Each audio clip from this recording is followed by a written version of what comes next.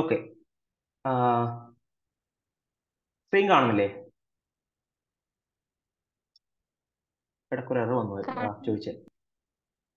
Okay അപ്പോൾ നമ്മൾ എന്താ പറഞ്ഞത് ആർ ഡി ടെക്നോളജിയിൽ എന്താണ് നമ്മൾ ആദ്യം വെക്ടർ ഉണ്ട്. വെക്ടർ പ്ലാസ്മിഡ് പ്ലാസ്മിഡിൽ വെക്ടർ യൂസ് ചെയ്യുന്നു. ജീൻ ഓഫ് ഇൻട്രസ്റ്റിനെ ലൈഗേറ്റ് ചെയ്യുന്നു. എന്നിട്ട് ഈ പറഞ്ഞ ഡയഗ്രത്തിൽ കടന്നുള്ള ബാക്ടീരിയയിലേക്ക് ഇൻസേർട്ട് ചെയ്യുന്നു. എന്തുകൊണ്ടാണെന്നുള്ള കാര്യം നമ്മൾ എക്സ്പ്ലെയിൻ ചെയ്തിട്ടുണ്ട് അല്ലേ? അപ്പോൾ ആഹ് ഈ ഹീറ്റ് ഷോക്ക് എന്നുള്ള സാധനം അത് നമുക്ക് പിന്നെ എക്സ്പ്ലെയിൻ ചെയ്യാം. ആ ബാക്ടീരിയയിലേക്ക് അത് ഇൻസേർട്ട് ചെയ്യുന്നു. അതിന് മില്യൺസ് ഓഫ് കോപ്പീസ് ഉണ്ടാക്കുന്നു. അതിന്റെ കാരണം ഞാൻ എക്സ്പ്ലെയിൻ ചെയ്തിട്ടുണ്ട് അല്ലേ?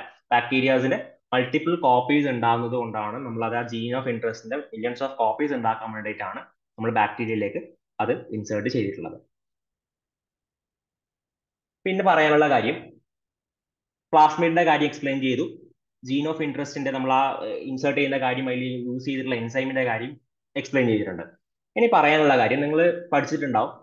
ഈ പ്ലാസ്മിഡ് അല്ലെങ്കിൽ വെക്ടേഴ്സിന്റെ സ്പെസിഫിക് അതിന്റെ സ്പെസിഫിക്കേഷൻ ആ വെക്ടേഴ്സ് നമ്മൾ യൂസ് ചെയ്യുന്ന വെക്ടേഴ്സ് സ്പെസിഫിക്കേഷൻ നിങ്ങൾ എല്ലാവരും പഠിച്ചിട്ടുണ്ടാവും അല്ലെ? അപ്പൊ അതിൽ എന്തൊക്കെയാണ് നമ്മളൊരു വെക്ടേഴ്സിൽ ഉണ്ടാവേണ്ട കാര്യങ്ങൾ എന്ന് പറയാൻ പറ്റുമോ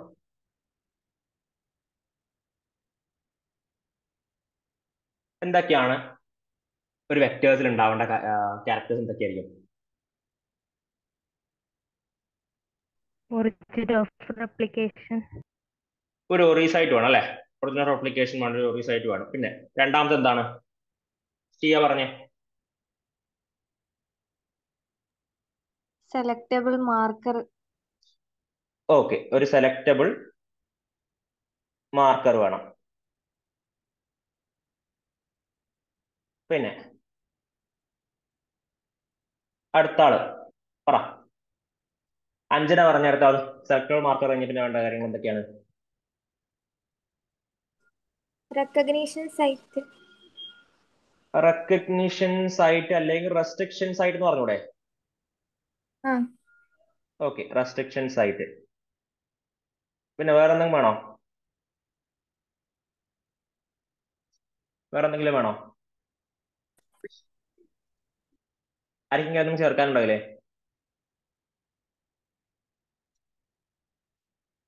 പറ. ഈ മൂന്നെണ്ണം മാത്രം മതിയോ?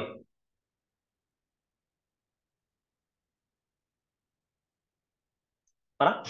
ഈ മൂന്നെണ്ണം മാത്രം മതിയോ എന്നാണ് ചോദ്യം. ചോദ്യം ആയിട്ട് വേണം. ഒരു റെസ്ട്രിക്ഷൻ നമ്മളെ ഇത് റെപ്ലിക്കേഷൻ സ്റ്റാർട്ട് ചെയ്യുന്ന ഒരു സൈറ്റ് ഉണ്ട്. ഒറീസൈറ്റ് എന്നറിയപ്പെടും. പിന്നെ സെലക്ടബിൾ മാർക്കർ വേണം. റെസ്ട്രിക്ഷൻ സൈറ്റിന്റെ കാര്യം പറഞ്ഞു. സെലക്ടബിൾ മാർക്കറിന്റെ കാര്യം പറഞ്ഞു. മൂന്നെണ്ണം മാത്രം മതിയോ? വേറെ എന്തെങ്കിലും ക്യാരക്ടേഴ്സ് ഒരു ആവശ്യമുണ്ടോ അതിന്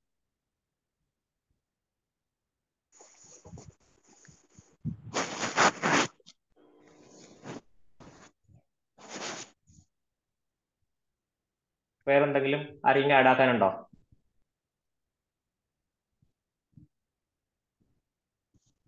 കോപ്പി നമ്പർ എന്ന് കേട്ടിട്ടുണ്ടോ?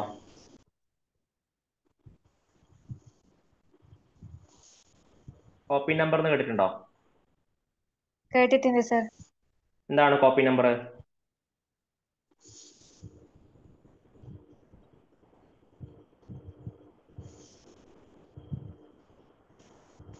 എന്താണ് കോപ്പി നമ്പർ ഒന്ന് പറയാവോ?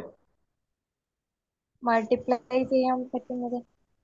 മൾട്ടിപ്ലൈ ചെയ്തുണ്ടാവുന്ന കോപ്പീസ് അപ്പോൾ ഒരു വെക്ടർ മൾട്ടിപ്ലൈ ചെയ്യുമ്പോൾ നിങ്ങൾ ഈ ഇപ്പൊ ഈ പറഞ്ഞ ഒരാളെ ഇപ്പം ആരാണ് പറഞ്ഞത്? ഇപ്പം ആരാണ് ഉത്തരം പറഞ്ഞത്? ക്ലിയർ ആയിട്ടില്ല. ആരാ പറഞ്ഞു? ഷിയ. ആ ഷിയ പറഞ്ഞ പോലെ എന്താണ് ഒരു മൾട്ടി ഒരു ഷിയ ഇപ്പൊ ഒരു ജനറ്റിക് എഞ്ചിനീയറിംഗ് വർക്ക് ചെയ്യാണ്. ഷിയന്റെ കയ്യിൽ രണ്ട് പ്ലാസ്മിഡ് ഒരു വെക്ടേഴ്സ് ഉണ്ട് രണ്ട് പ്ലാസ്മ വെക്ടേഴ്സ് ഉണ്ടെന്ന് വിചാരിക്കാം. ഒന്നിന്റെ കോപ്പി നമ്പർ അതായത് അത് അതിൽ ഉണ്ടാവുന്ന കോപ്പീസ് അഞ്ചെണ്ണം മറ്റേ നൂറെണ്ണം ഉണ്ടാവുന്നെങ്കിൽ ഷിയ സെലക്ട് ചെയ്യുന്ന വെക്ടർ ഏതായിരിക്കും? കുറച്ച് കോപ്പീസ് ഉണ്ടാക്കുന്നത്. കുറച്ച് കോപ്പീസ് ഉണ്ടാക്കുന്നതായിരിക്കോ ഷിയയ്ക്ക് ഒരു പെർട്ടിക്കുലർ ജീൻ ഒരു ജീൻ ഓഫ് ഇൻട്രസ്റ്റ് ഉണ്ട്. ഇപ്പൊ ഇൻസുലിൻ എന്നുള്ള ഒരു ഉണ്ടാക്കുന്ന ഒരു ജീനെയാണ് ഷി ഐസൊലേറ്റ് ചെയ്തിട്ടുള്ളത്. അതിന്റെ കുറെ കോപ്പീസ് ഉണ്ടാക്കുമ്പോൾ യൂസ് ചെയ്യുന്ന വെക്ടറിന്റെ കോപ്പി നമ്പർ കുറവാണെങ്കിൽ ശരിയാവോ?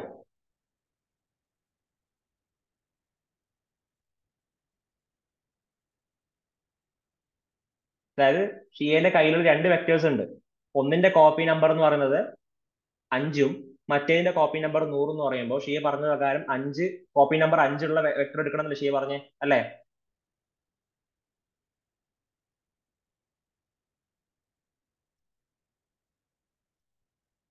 കേൾക്കുന്നുണ്ടോ? പറഞ്ഞത് ക്ലിയർ ആയോ?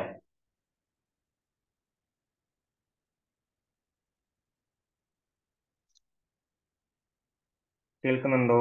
ഹലോ? ഷിയനോട് ചോദ്യം. ഷിയ.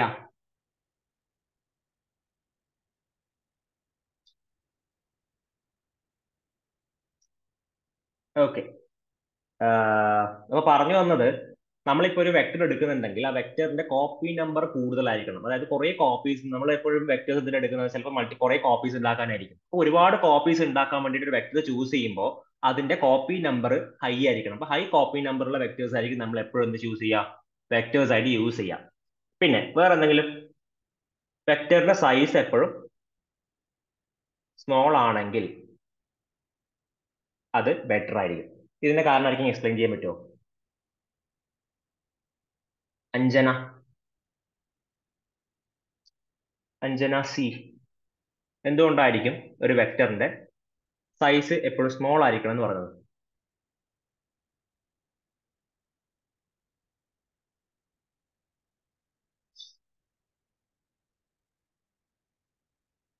കേൾക്കുന്നില്ല ഞാൻ പറയുന്നത്? പൊടി കൊട്ടാവുന്നുണ്ടോ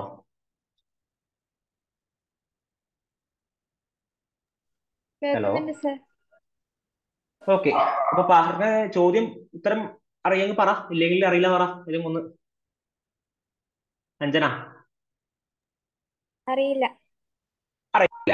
അപ്പൊ നമ്മൾ ഈ സാധനം വെക്ടർ നമ്മളൊരു ഒരു ഓർഗാൻസിലേക്ക് ഇൻസേർട്ട് ചെയ്യുമ്പോൾ ഒരു സെല്ലിലേക്ക് നമ്മൾ ഇൻസേർട്ട് ചെയ്യുമ്പോൾ അതിന്റെ സൈസ് വലുതായി കഴിഞ്ഞാൽ ഇൻസേർട്ട് ചെയ്യാൻ പ്രയാസമായിരിക്കുമല്ലോ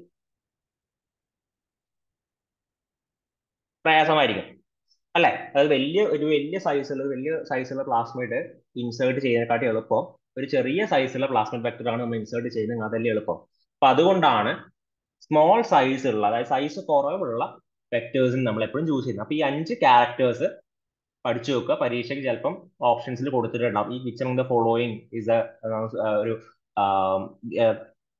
നോൺ ക്യാരക്ടറിസ്റ്റിക് അല്ലെങ്കിൽ വേണ്ട ഒരു ക്യാരക്ടർ ഏതൊക്കെയാണ് പ്ലാസ്മിക് വെക്ടറിന് വേണ്ട ക്യാരക്ടേഴ്സ് എന്തൊക്കെയാണെന്നുള്ള ചോദ്യത്തിന്റെ ഓപ്ഷൻസ് കൊടുത്തിട്ടുണ്ടാവും അപ്പൊ അതിൽ ഈ പറഞ്ഞ അഞ്ച് ഓപ്ഷൻസ് ഏതെങ്കിലും ഒന്ന് ഉണ്ടെങ്കിൽ ഏതെങ്കിലും ഒന്ന് കൊടുത്തിട്ടുണ്ടാവും. അത് സെലക്ട് ചെയ്യാനുള്ള സെലക്ട് ചെയ്യാൻ വേണ്ടിയിട്ട് പറ്റണം. അപ്പം ഒന്നാമത്തെ എന്താ? ഒരു ഒറിജിനൽ ഓഫ് അപ്ലിക്കേഷൻ വേണം റീസൈറ്റ് വേണം. പിന്നെ സെലക്ടബിൾ മാർക്കർ വേണം. മാർക്കറിന്റെ കാര്യം നമുക്ക് വരാം അതിൽ പറയാം. പിന്നെ വേണ്ട എന്താ? ഒരു റെസ്ട്രിക്ഷൻ സൈറ്റ് വേണം. റെസ്ട്രിക്ഷൻ സൈറ്റ് എന്ന് വെച്ചാൽ റെസ്ട്രിക്ഷൻ എൻസൈം കട്ട് ചെയ്യാൻ വേണ്ടിയിട്ടുള്ള സൈറ്റ് പിന്നെ ഹൈ കോപ്പി നമ്പർ ആയിരിക്കണം. അതായത് അതിൽ ഉണ്ടാവുന്ന ആ വെക്ടർ മൾട്ടിപ്ലൈ ചെയ്ത് ഉണ്ടാവുന്ന കുറെ കോപ്പീസ് ഉണ്ടാവുന്ന അത് ഏറ്റവും കൂടുതൽ കോപ്പി നമ്പർ ഉള്ള ഒരു വെക്ടർ ആയിരിക്കണം ചൂസ് ചെയ്യേണ്ടത്. ഹൈ കോപ്പി നമ്പർ എന്ന് പറയുമ്പോൾ ഒരു വെക്ടർ മൾട്ടിപ്ലൈ ചെയ്യുമ്പോൾ എത്ര കോപ്പീസ് ഉണ്ടാക്കാൻ പറ്റുന്നുള്ളതാണ് അതിന്റെ കോപ്പി നമ്പർ എന്ന് അറിയപ്പെടുന്നത്. അപ്പൊ ഹൈ കോപ്പി നമ്പർ ഉള്ള വെക്ടേഴ്സ് വേണം ചൂസ് ചെയ്യാൻ വേണ്ടിയിട്ട്. പിന്നെയോ ഈ വെക്ടറിന്റെ സൈസ് കുറവായിരിക്കണം. ഇത്രയും പറഞ്ഞില്ലെന്നും കൺഫ്യൂഷൻ ഉണ്ടാവും ഇല്ല സർ ഓക്കെ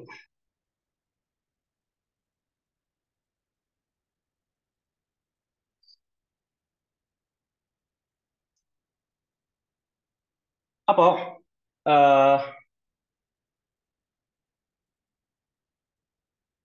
നമ്മൾ ഈ പറഞ്ഞ നേരത്തെ പറഞ്ഞ അഞ്ച് ക്യാരക്ടേഴ്സ് പറഞ്ഞിട്ടുണ്ട്. അതിൽ സെലക്ടബിൾ മാർക്കർ എന്നുള്ള ഒരു കാര്യം പറഞ്ഞിട്ടുണ്ട്. ഈ സെലക്ടബിൾ മാർക്കർ എന്ന് വെച്ചാൽ ശരിക്കും എന്താ? നമ്മൾ എന്താണ് ഈ ഒരു ബാക്ടീരിയയിലേക്ക് ഇൻസേർട്ട് ചെയ്തു. നമ്മൾ ഒരു ജീനൊക്കെ ഐസൊലേറ്റ് ചെയ്ത് വെക്ടറിലേക്ക് പ്ലാസ്മയിലാണ് നമ്മൾ വെക്ടർ വെക്ടറിലേക്ക് ഇൻസേർട്ട് ചെയ്തു. എന്നിട്ട് ആ ബാക്ടീരിയയിലേക്ക് കൊടുക്കുന്നു. ആ ബാക്ടീരിയയിലേക്ക് കൊടുക്കുന്ന സമയത്ത് നമുക്ക് കണ്ണുകൊണ്ട് കാണാൻ പറ്റുമോ നമ്മൾ ആ വെക്ടർ നമ്മളിലേക്ക് വന്നിട്ടുണ്ടെന്ന് പറയാൻ പറ്റുമോ ഇല്ല. നമുക്ക് ആ ഒരു ആ ഒരു സാധനം നമ്മൾ ഉദ്ദേശിക്കുന്ന വെക്ടർ അല്ലെങ്കിൽ നമ്മൾ ഉദ്ദേശിക്കുന്ന റീകോമിനന്റ് പ്ലാസ്മിഡ് പ്ലാസ്മിഡ് ആണ് നമ്മൾ എടുക്കുന്ന വെക്ടർ എങ്കിൽ ആ പ്ലാസ്മിഡ് വെക്ടർ ആ റീകോമിനന്റ് പ്ലാസ്മിഡ് വെക്ടർ നമ്മൾ ഉദ്ദേശിക്കുന്ന ബാക്ടീരിയയിലേക്ക് വന്നിട്ടുണ്ടോ ഇല്ലയോ എന്ന് ബാക്ടീരിയസ് മൾട്ടിപ്പിളും കുറേ കോപ്പീസ് ഉണ്ടാവും അല്ലേ? അപ്പോൾ വന്നിട്ടുണ്ടോ ഇല്ലയോ നമുക്ക് അറിയാൻ പറ്റില്ല. അപ്പൊ അതിനെ സെലക്ട് ചെയ്യാൻ വേണ്ടിയിട്ട് അതായത് വിഷ്വലൈസ് ചെയ്യാൻ അതിന് നമുക്ക് വേണ്ട റീകോമിനന്റ് പ്ലാസ്മിഡ് നമ്മൾ ജീൻ ഓഫ് ഇൻട്രസ്റ്റ് ക്യാരി ചെയ്യുന്ന പ്ലാസ്മിഡ് ഉള്ള ബാക്ടീരിയ സെലക്ട് ചെയ്യാൻ വേണ്ടിയിട്ട് ഉള്ള ഒരു ഒരു സംവിധാനമാണ് സെലക്ടബിൾ മാർക്കർ എന്ന് അറിയപ്പെടുന്നത്. അപ്പൊ ഒന്നുകിൽ അത് ആന്റിബയോട്ടിക് റെസിസ്റ്റൻസ് ജീൻ ആയിരിക്കാം. അല്ലെങ്കിൽ നമ്മൾ പിന്നെ ലാക്സെറ്റ് ജീനിന്റെ ഒരു കാര്യങ്ങൾ പഠിച്ചിട്ടുണ്ടാവും. അല്ല ഒരു ബ്ലൂ വൈറ്റ് കോളനി സെലക്ഷൻ എന്നുള്ള കാര്യം പഠിച്ചിട്ടുണ്ട്. ആന്റിബയോട്ടിക് റെസിസ്റ്റൻസ് ഈ രണ്ട് വഴിയാണ് എന്ത് ചെയ്യുക? നമ്മൾ ഈ റീകോമ്പനന്റ് ആയിട്ടുള്ള ബാക്ടീരിയസ് നമ്മൾ ഈ പ്ലാസ്മിഡ് വെക്ടർ ക്യാരി ചെയ്യുന്ന ബാക്ടീരിയ സെലക്ട് ചെയ്യുക. പിന്നെ എന്ത് ചെയ്യുക? അതിലൊക്കെ ജസ്റ്റ് ഒരു ഔട്ട്ലൈൻ ആണ്. ആ പ്രോസസ് ഒക്കെ ഡീറ്റെയിൽ ആയിട്ട് പറയാം. പിന്നെ അത് അപ്പൊ അത് ചെയ്യുന്നു. നമ്മൾ ആ കോളനി സെലക്ട് ചെയ്യുന്നു. എന്നിട്ട് എന്ത് ചെയ്യുന്നു? ആ നമ്മൾ ആ സെലക്ടർ മാർക്കർ വെച്ച് നമുക്ക് വേണ്ട ജീനുള്ള വേണ്ട ജീൻ ക്യാരി ചെയ്യുന്ന പ്ലാസ്മിഡ് ഉള്ള ബാക്ടീരിയനെ സെലക്ട് ചെയ്യുന്നു. എന്നിട്ട് ചെയ്യുന്നു? ചെയ്യുന്നു. ആ ബാക്ടീരിയ എക്സ്പ്രസ് ചെയ്യുന്ന പ്രോട്ടീൻ നമ്മൾ ഐസൊലേറ്റ് ചെയ്യുന്നു ഇതാണ് ജസ്റ്റ് അതിന്റെ ജനറൽ ഔട്ട്ലൈൻ എന്ന് അറിയപ്പെടുന്നത്. അതായത് ആദ്യം ടെക്നോളജി നമ്മൾ just full on throughout chapter നമ്മൾ പഠിക്കുന്ന കാര്യങ്ങൾ ഇതൊക്കെയാണ്. ആദ്യം എന്താണ്? ഒരു ഒരു വെക്ടർ എടുക്കുന്നു. ഒരു ടാർഗറ്റ് ഉണ്ട്. പ്ലാസ്മിഡ് നമ്മൾ എടുക്കുന്ന വെക്ടർ എക്സാമ്പിൾ പ്ലാസ്മിഡ് ആണെങ്കിൽ ആ പ്ലാസ്മിഡ് വെക്ടറിലേക്ക് നമ്മൾ അത് ലൈഗേറ്റ് ചെയ്യുന്നു. റീകോമിനൻ പ്ലാസ്മിഡ് കിട്ടുന്നു. അത് ബാക്ടീരിയയിലേക്ക് കൊടുക്കുന്നു.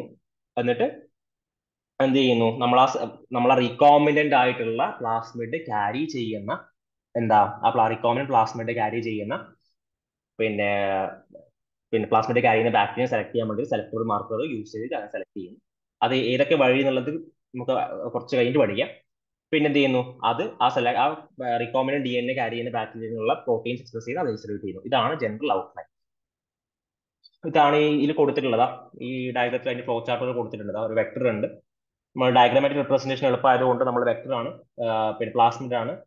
പ്ലാസ്മിഡ് ആണ് സൂട്ടബിൾ വെക്ടർ ആയിട്ട് വരയ്ക്കാൻ യൂസ് ചെയ്യുക. ഒരു ഫ്രാഗ്മെന്റ് ഉണ്ട്. അതെന്ത് ചെയ്യുന്നു? ഒരു റീകോമിനൻ ഡി എൻ എ മോളിക്യൂളിലേക്ക് ഇൻസേർട്ട് ചെയ്യുന്നു. എന്നിട്ട് എന്ത് ചെയ്യുന്നു? ആ റീകോമിനൻ പ്ലാസ്മിഡ് നമ്മൾ ബാക്ടീരിയയിലേക്ക് ഇൻസേർട്ട് ചെയ്യുന്നു. ബാക്ടീരിയ മൾട്ടിപ്ലൈ ചെയ്യുന്നു. അതിന്റെ ആ പെർട്ടിക്കുലർ ജീനിന്റെ പ്രോട്ടീൻ അത് എക്സ്പ്രസ് ചെയ്യുന്നു. ഇതാണ് ഇതിന്റെ ജനറൽ ഔട്ട്ലൈൻ ആദ്യം ടെക്നോളജിയിലെ ജനറൽ ഔട്ട്ലൈൻ ഓക്കെ ഇനി രണ്ട് കാര്യങ്ങൾ. നമ്മൾ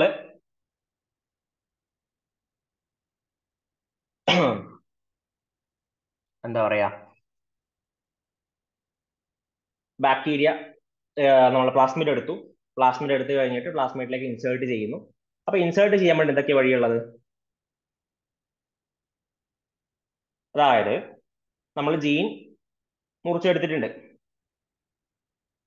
നമ്മളെ പ്ലാസ്മിഡും അതുപോലെ മുറിച്ചെടുത്തിട്ടുണ്ട് എന്നിട്ട് എന്ത് ചെയ്യുന്നു? ഈ രണ്ട് സാധനം ഒന്നിലേക്ക് ഇൻസേർട്ട് ചെയ്യുന്നു?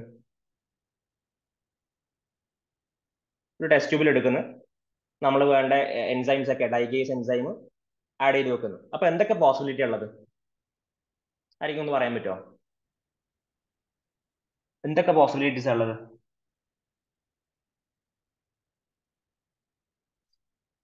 എന്തൊക്കെ പോസിബിലിറ്റീസ് ഉള്ളത്? ആരെങ്കിലും ഒരാൾ പറഞ്ഞു.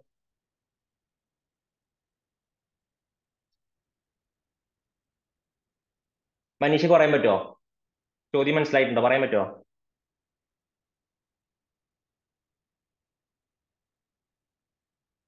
മനീഷ കേൾക്കുന്നുണ്ടോ?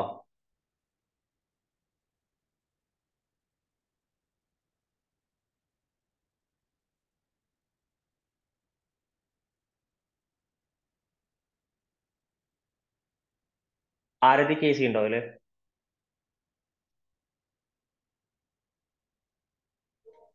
സാർ ഒന്നും കൂടി പറയാ ക്വസ്റ്റ്യൻ നമ്മൾ എല്ലാ ഔട്ട്ലൈൻ ഒക്കെ മനസ്സിലായില്ലേ? പറഞ്ഞ മൊത്തം ഔട്ട്ലൈൻ മനസ്സിലായില്ലേ? മനസ്സിലായി സാർ ഓക്കെ ക്വസ്റ്റ്യൻ എന്താണെന്ന് വെച്ചാൽ നമ്മൾ ഔട്ട്ലൈൻ ഒക്കെ പറഞ്ഞു. കഴിഞ്ഞാൽ അതിന്റെ ഓരോ സ്റ്റെപ്പിലേക്ക് നമ്മൾ പോവാണ്. അപ്പൊ നമ്മൾ ഒരു ജീൻ ഐസൊലേറ്റ് ചെയ്ത് വെച്ചിട്ടുണ്ട് ഡി എൻ എന്ന് പ്ലാസ്മേറ്റ് വെക്ടറും ഉണ്ട്. അതും നമ്മൾ കട്ട് ചെയ്ത് നമ്മൾ ലൈഗേറ്റ് ചെയ്യേണ്ട രീതിയിൽ ആക്കി വെച്ചിട്ടുണ്ട്. എന്നിട്ട് എന്ത് ചെയ്യുന്നു? ഈ രണ്ടെണ്ണത്തിനെയും നമ്മൾ ഒരു ടെസ്റ്റ് ട്യൂബിലേക്ക് കൊണ്ടുവരുന്നു. ആ ടെസ്റ്റ് ട്യൂബിൽ നമ്മൾ എന്താ ആഡ് ചെയ്യുന്നു? ലൈഗേസ് എൻസൈം ആഡ് ചെയ്യുന്നു. അപ്പൊ എന്തൊക്കെ പോസിബിലിറ്റിയാണ് നമുക്ക് കിട്ടാൻ സാധ്യത വരുന്നത്?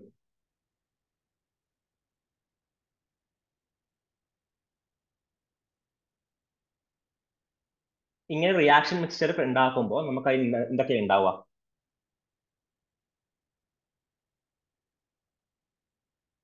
മനസ്സിലായോ? മനസ്സിലായോ?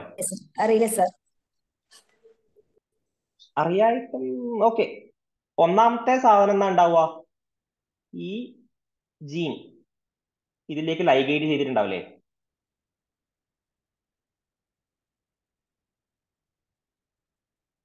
ഇല്ലേ? ആരതി പറ. ആ ഉണ്ട് സാർ അപ്പൊ ഒന്നാമത്തെ പോസിബിലിറ്റി അതാണ് അതായത് നമ്മൾ സാധാരണ ആർ ടെക്നോളജി പഠിച്ച സാധനം തന്നെ. അതായത് ആ ഒരു പ്ലാസ്മിക് വെക്ടർ ഉണ്ട്. അതിലേക്ക് നമ്മൾ ജീനെ ഇൻസേർട്ട് ചെയ്യുന്നു ലൈഗേസ് എൻസൈം വെച്ച ടെസ്റ്റ് ട്യൂബിൽ റിയാക്ഷൻ മിക്സ്ചർ ഉണ്ടായി കഴിഞ്ഞാൽ ഫസ്റ്റ് പോസിബിലിറ്റി നമ്മൾ പ്രൊഡിക്ട് ചെയ്യുന്നത് എന്താണ്? കറക്റ്റ്ലി ലൈഗേറ്റഡ് ആയിട്ടുള്ളൊരു എന്തുണ്ടാവും? ഒരു റീകോമിനൻ പ്ലാസ്മിഡ് ഉണ്ടാവും. ഇനി വേറെ എന്തെങ്കിലും പോസിബിലിറ്റി ഉണ്ടാവും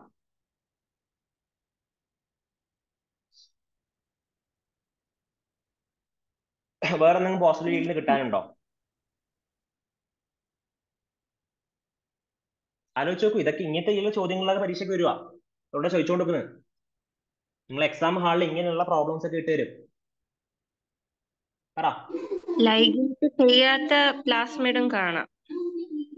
ലൈഗേറ്റ് ചെയ്യാത്ത പ്ലാസ്മിഡും കാണാം. ഓക്കെ. പിന്നെ വേറെ എന്തെങ്കിലും പോസിബിലിറ്റി ഉണ്ടോ?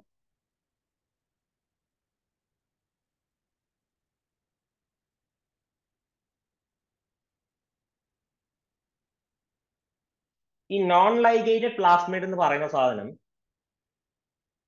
അതായത് ഈ പ്ലാസ്മിഡ് നമ്മളെ ജീൻ ഓഫ് ഇൻട്രസ്റ്റ് ഇല്ലാത്ത പ്ലാസ്മിഡ് എങ്ങനെയുണ്ട് ലൈഗേസ് എൻസൈമും ഉണ്ട്.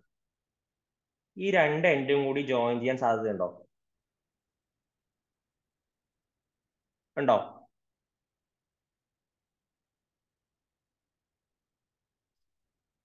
ഈ രണ്ട് എൻഡും കൂടി ജോയിൻ ചെയ്യാൻ ലൈഗേസ് എൻസൈം ഉണ്ട്. ഈ രണ്ട് എൻഡും കൂടി കൂട്ടി യോജിക്കാൻ സാധ്യതയുണ്ടോ? ഇല്ലയോ ആണെന്നുള്ള ചോദ്യം.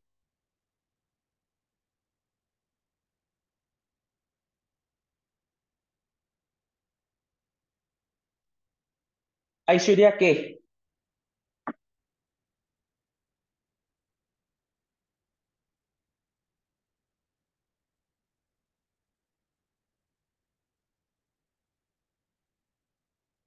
ഐശ്വര്യ കെ ഉണ്ടായില്ലേ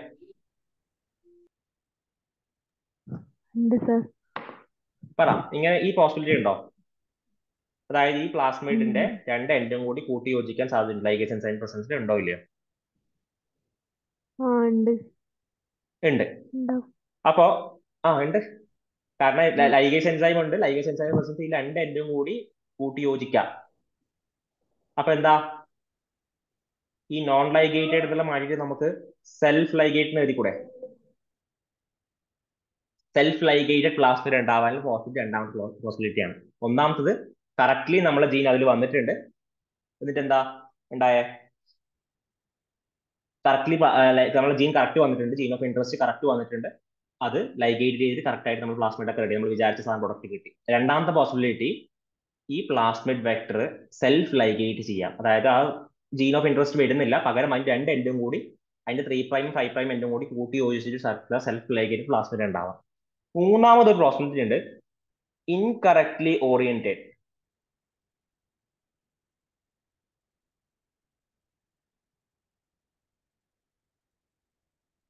പ്ലാസ്മിഡ് ഉണ്ടാവാം.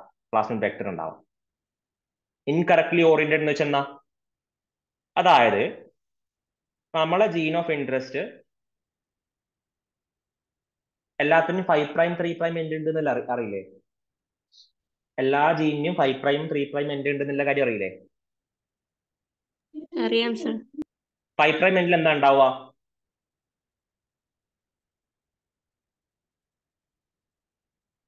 ഫൈവ് പ്രൈം എൻഡിൽ നമ്മൾ ഫൈവ് പ്രൈം ഫോസ്ഫേറ്റ് ഗ്രൂപ്പ് ഉണ്ടാവും അല്ലെ? നിങ്ങൾ ഡി എൻ എയുടെ സക്സസ് ഒക്കെ നിങ്ങൾ എഴുതുന്ന ക്ലാസ്സിൽ പഠിക്കും ജസ്റ്റ് ഒരു ഔട്ട്ലൈൻ പറയുന്നതാണ്. പിന്നെ ഫൈവ് പ്രൈം എൻഡിൽ ഒരു ഫോസ്ഫേറ്റ് ഗ്രൂപ്പ് അറ്റാച്ച് ചെയ്തിട്ടുണ്ടാവും. ത്രീ പ്രൈം ഗ്രൂപ്പിൽ എന്തായിരിക്കും? ഒരു ഒ എച്ച് ഗ്രൂപ്പ് ആയിരിക്കും ഉണ്ടാവുക. ഇതാണ് നമ്മൾ five prime end three prime end എന്ന് പറയുന്ന സാധനം. അല്ലേ? അപ്പോ ഈ five prime end three prime end അതേപോലെ തന്നെ ഈ പ്ലാസ്മിഡിനും five prime end three prime എൻഡും ഉണ്ട്. നോർമലി കറക്റ്റ് ഓറിയന്റഡ് ഓറിയന്റേഷൻ ആണെങ്കിൽ ഇത് ഇതേ രീതിയിൽ തന്നെ ഇതിൽ ലൈഗേറ്റ് ചെയ്യാം. കറക്റ്റ് ഓറിയന്റേഷൻ ഇവിടെ എന്തായിരിക്കും വരുക? പ്ലാസ്മേറ്റിന്റെ ഏത് പ്ലാസ്മേറ്റിന്റെ ജീൻ ഓഫ് ഇൻട്രസ്റ്റിന്റെ ഏത് ഭാഗമായിരിക്കും ഇവിടെ ലൈഗേറ്റ് ചെയ്യാം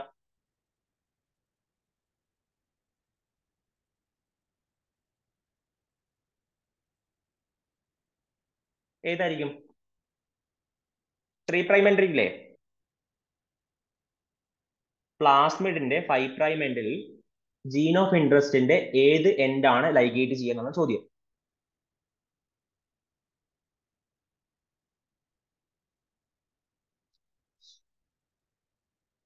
പറ. നിമിഷ നിമിഷ ഉണ്ടായില്ലേ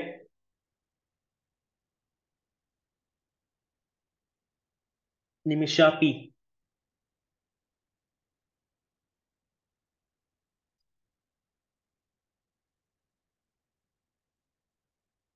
നിമിഷ പി ഉണ്ടാ.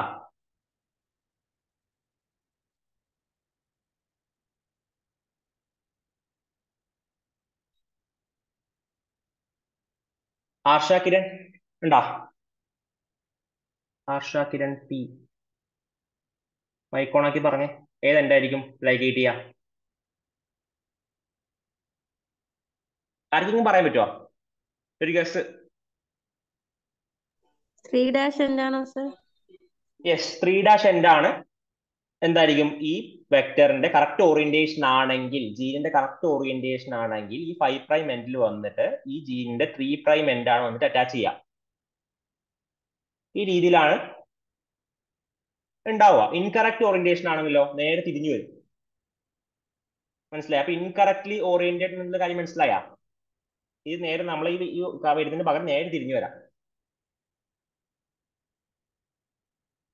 മനസ്സിലാവുന്നുണ്ടോ? മനസ്സിലായി പറഞ്ഞത് മനസ്സിലായിനാ? ഓക്കെ അപ്പൊ ഈ മൂന്ന് പോസിബിലിറ്റി എന്ന കാര്യം നിങ്ങൾ നോട്ടിൽ എഴുതി വെക്കുക. ഇത് പരീക്ഷയ്ക്ക് ചോദിക്കാൻ സാധ്യതയുള്ള കാര്യമാണ്. നിങ്ങൾ റിയാക്ഷൻ മിക്സർ ഉണ്ടാക്കുന്നു. What are the possibilities do you will get by preparing a recombinant D N A എന്നുള്ള കാര്യം ചോദിച്ചു കഴിഞ്ഞാൽ നിങ്ങളുടെ മനസ്സിൽ മൂന്ന് കാര്യങ്ങൾ വരണം. ഒന്ന് correctly ligated D N A ഉണ്ടാവാം അതായത് കറക്റ്റ് ജീൻ ഓറിയന്റേഷൻ വരുന്നത്. നമ്മൾ വിചാരിച്ച പോലെ തന്നെ ലൈഗേറ്റ് ചെയ്ത്. രണ്ടാമത്തതോ?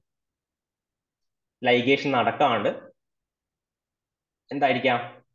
ഈ പ്ലാസ്മിഡ് രണ്ട് എൻഡ് കൊണ്ട് കൂട്ടി യോജിച്ച് എന്തായിരിക്കും? സെൽഫ് ലൈഗേറ്റഡ് പ്ലാസ്മിഡ് ഉണ്ടാവാം. മൂന്നാമത്തതോ? ഇൻകറക്ട്ലി ഓറിയന്റഡ് പ്ലാസ്മിഡ് വെക്ടർ ഉണ്ടാവാം. മീൻസ് റിക്കോമിനന്റ് പ്ലാസ്മിഡ് ഉണ്ടാവാം. അതായത് നേരത്തെ കറക്റ്റ്ലി ഓറിയന്റേഷന്റെ പകരം നേരെ തിരിഞ്ഞ് ലൈഗേറ്റ് ചെയ്യുന്ന ജീൻ ആ രീതിയിൽ വരാം. നമുക്ക് വേണ്ട ആളെ ആരാണ്? നമുക്ക് വേണ്ട ആളെയാളാണ് correctly ligated D N A ആണ് നമുക്ക് വേണ്ടത്. പ്ലാസ്മിഡ് വെക്ടർ ആണ് നമുക്ക് ആവശ്യമുള്ളത്. എഴുതി വെച്ചോ? എഴുതിയോ?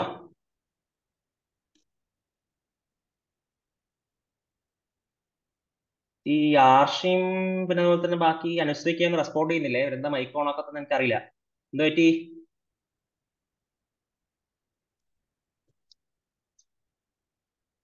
ആൻസർ അറിയാത്തോണ്ടാണോ അതോ സംസാരിക്കാൻ മടിയായിട്ടാണോ? പറ. അല്ല സാർ അന്നേരം ആവുന്നുണ്ടായിട്ടില്ല മൈക്ക് അതുകൊണ്ടാ. ഇതാരാ പറഞ്ഞേ? അനുശ്രീയാണ് സാർ. അനുശ്രീ. ഫൈനൽ കോളേജിൽ അനുശ്രീ ആണോ? ഇല്ല. അതെ സാർ.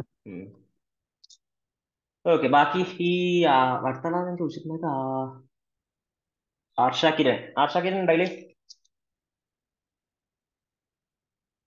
ഒന്ന് മൈക്ക് ഓണാക്കടോ നിങ്ങളെന്താ ഇങ്ങനെ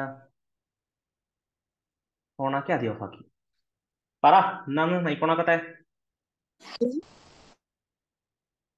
കേട്ടിട്ടാ? ഹലോ? ആ പറ പറ. കേൾക്കുന്നുണ്ട് പറ. Hello sir. കേൾക്കുന്നുണ്ടോ സർ? ആ കേൾക്കാം. പറ പറ പറ. കേൾക്കുന്നുണ്ട്. Network issue sir. Hello? Okay. ആ കേൾക്കാം കേൾക്കാം. പറ പറ. മനസ്സിലായി. നെറ്റ്വർക്ക് ഇഷ്യൂ ആണെന്ന്. ഇതൊന്ന് എഴുതി വെച്ചോ എല്ലാരും. ഈ സാധനം പോയിന്റ് എഴുതി വെച്ചിട്ടുണ്ടോ? യെസ് സർ ഓക്കെ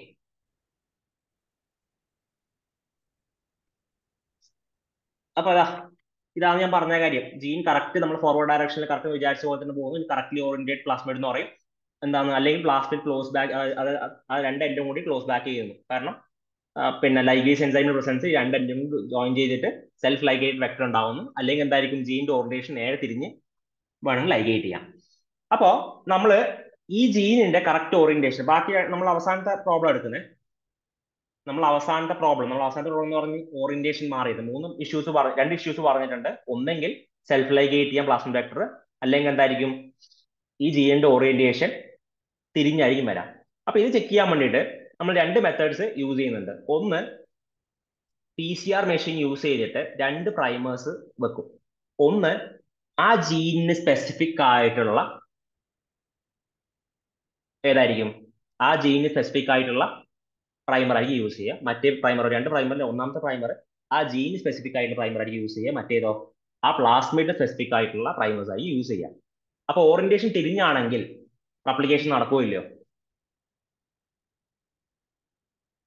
ഓറിയന്റേഷൻ തിരിഞ്ഞിട്ടാണെങ്കിൽ റപ്ലിക്കേഷൻ നടക്കുമല്ലോ സോ ശ്രീപ്രിയ ഉണ്ടായില്ലേ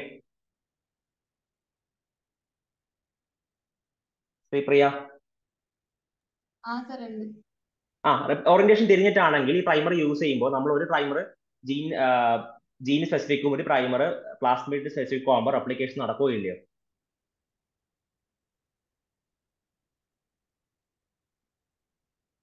റെപ്ലിക്കേഷൻ നടക്കുമായിരിക്കും നടക്കോ അപ്ലിക്കേഷൻ റെപ്ലിക്കേഷൻ ഡയറക്ഷൻ ഏത് ഡയറക്ഷൻ ആണ്?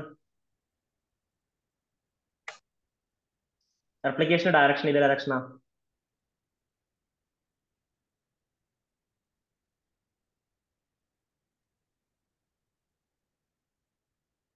അല്ലേ? ഈ ഇത് കേട്ടിട്ടുണ്ടോ? Five prime to three prime എന്ന് കേട്ടിട്ടുണ്ടോ?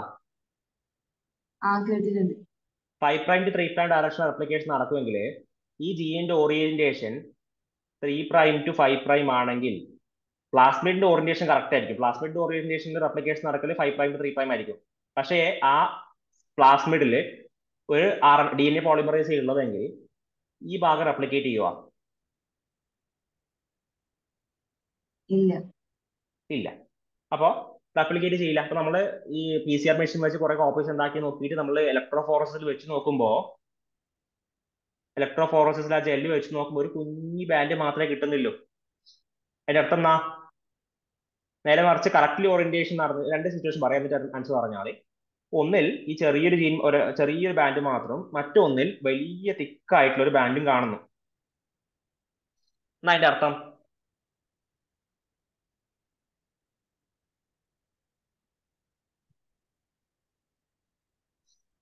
ഞാൻ ചോദിക്കുന്ന ആൾ പറഞ്ഞാൽ മതി.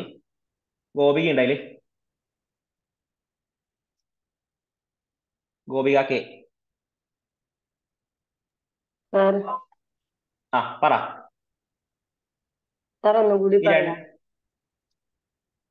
ഈ ഞാൻ പറഞ്ഞ പി സി ആർ വെച്ചിട്ടുള്ള രണ്ട് പ്രൈമേഴ്സ് യൂസ് ചെയ്ത അപ്ലിക്കേഷന്റെ കാര്യം പറഞ്ഞിട്ടുണ്ട്. അഞ്ച് റെപ്ലിക്കേറ്റ് ചെയ്യുന്നു. എന്നിട്ട് ഈ ഭാഗം ഇതാണ് കിട്ടുന്നത്. ഇങ്ങനെയാണ് ബാൻഡ് കിട്ടുന്നത്. നേരെ മറിച്ച് വേറെ ഒന്നിൽ കറക്റ്റ് ഓറിയന്റേഷൻ ഉണ്ട്. റെപ്ലിക്കേറ്റ് ചെയ്യുന്നു നമ്മൾ ഡി സി ആർ ഉപയോഗിച്ച് മൾട്ടിപ്ലൈ ചെയ്യുന്നു. ഇലക്ട്രോഫോറസിസ് ചെയ്യുമ്പോൾ വലിയ തിക്ക് ആയിട്ടുള്ള ബാൻഡാ കിട്ടുന്നെങ്കിൽ കിട്ടുന്നതെങ്കിൽ. അതിന്റെ അർത്ഥം എന്നാ കറക്റ്റ് ഓറിയന്റേഷനിൽ വരുമ്പോൾ മാത്രം. ആ. കറക്റ്റ് ഓറിയന്റേഷനിൽ മാത്രം വരുമ്പോൾ. റെപ്ലിക്കേറ്റ് ചെയ്യുന്നു. പി സി ആറിൽ ഒരുപാട് കോപ്പീസ് ഉണ്ടാവുന്നു. അപ്പൊ അതിന്റെ ബാൻഡ് തിക്കായിട്ട് കാണും. നേരെ മറിച്ച് ആ ഓക്കെ ഇനി നമ്മൾ ഇൻകറക്റ്റ് ഓറിയന്റേഷൻ ആ വരുന്നെങ്കിൽ ആ ഭാഗം മാത്രം റെപ്ലിക്കേറ്റ് ചെയ്യൂല റെപ്ലിക്കേഷൻ കംപ്ലീറ്റ് ആവില്ല അപ്പൊ കിട്ടുന്ന ബാൻഡിന്റെ തിക്നെസ് വളരെ ചെറുതായിരിക്കും. ഇത്രയും പറഞ്ഞത് ക്ലിയർ ആണോ?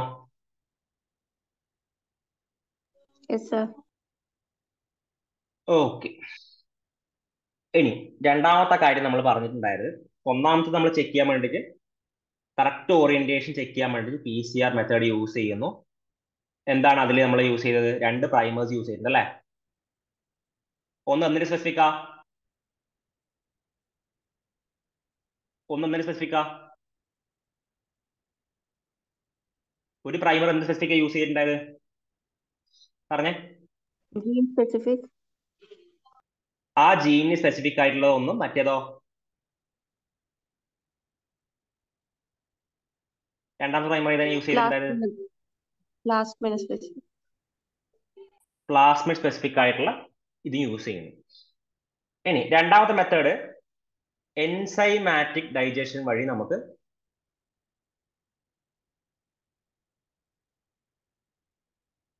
ഈ ജീനിന്റെ കറക്റ്റ് ഓറിയന്റേഷൻ ആ കറക്റ്റ് ഓറിയന്റേഷൻ ആണോ ലൈക്കേറ്റ് ചെയ്യുന്നത് കണ്ടുപിടിക്കാൻ പറ്റും. എങ്ങനെയാണെന്നറിയോ?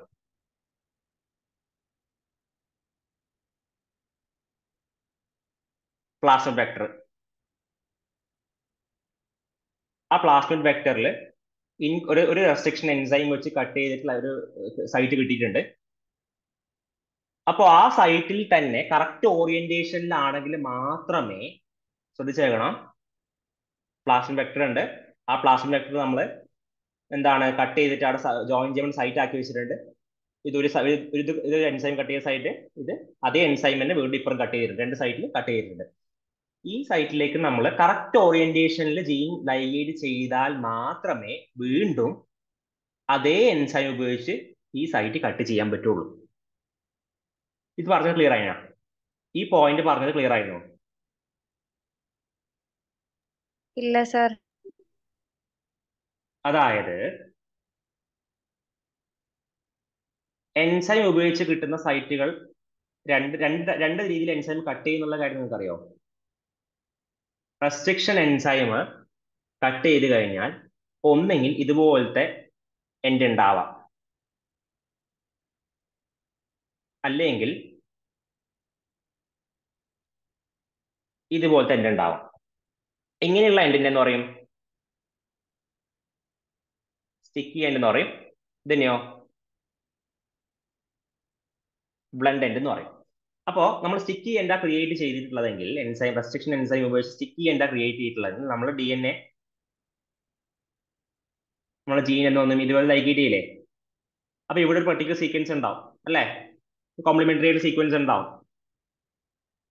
അപ്പൊ ആ സീക്വൻസ് അല്ലെങ്കിൽ ആ രീ ഇത് ആ സീക്വൻസ് ആ ജോയിൻ ചെയ്ത ഭാഗത്തിലുള്ള റെസ്ട്രിക്ഷൻ സൈറ്റ് കറക്റ്റ് ആണെങ്കിൽ മാത്രമേ നമ്മൾ ആദ്യം കട്ട് ചെയ്ത എൻസൈം ഉപയോഗിച്ച് ഇവിടെ വീണ്ടും കട്ട് ചെയ്യാൻ പറ്റുള്ളൂ.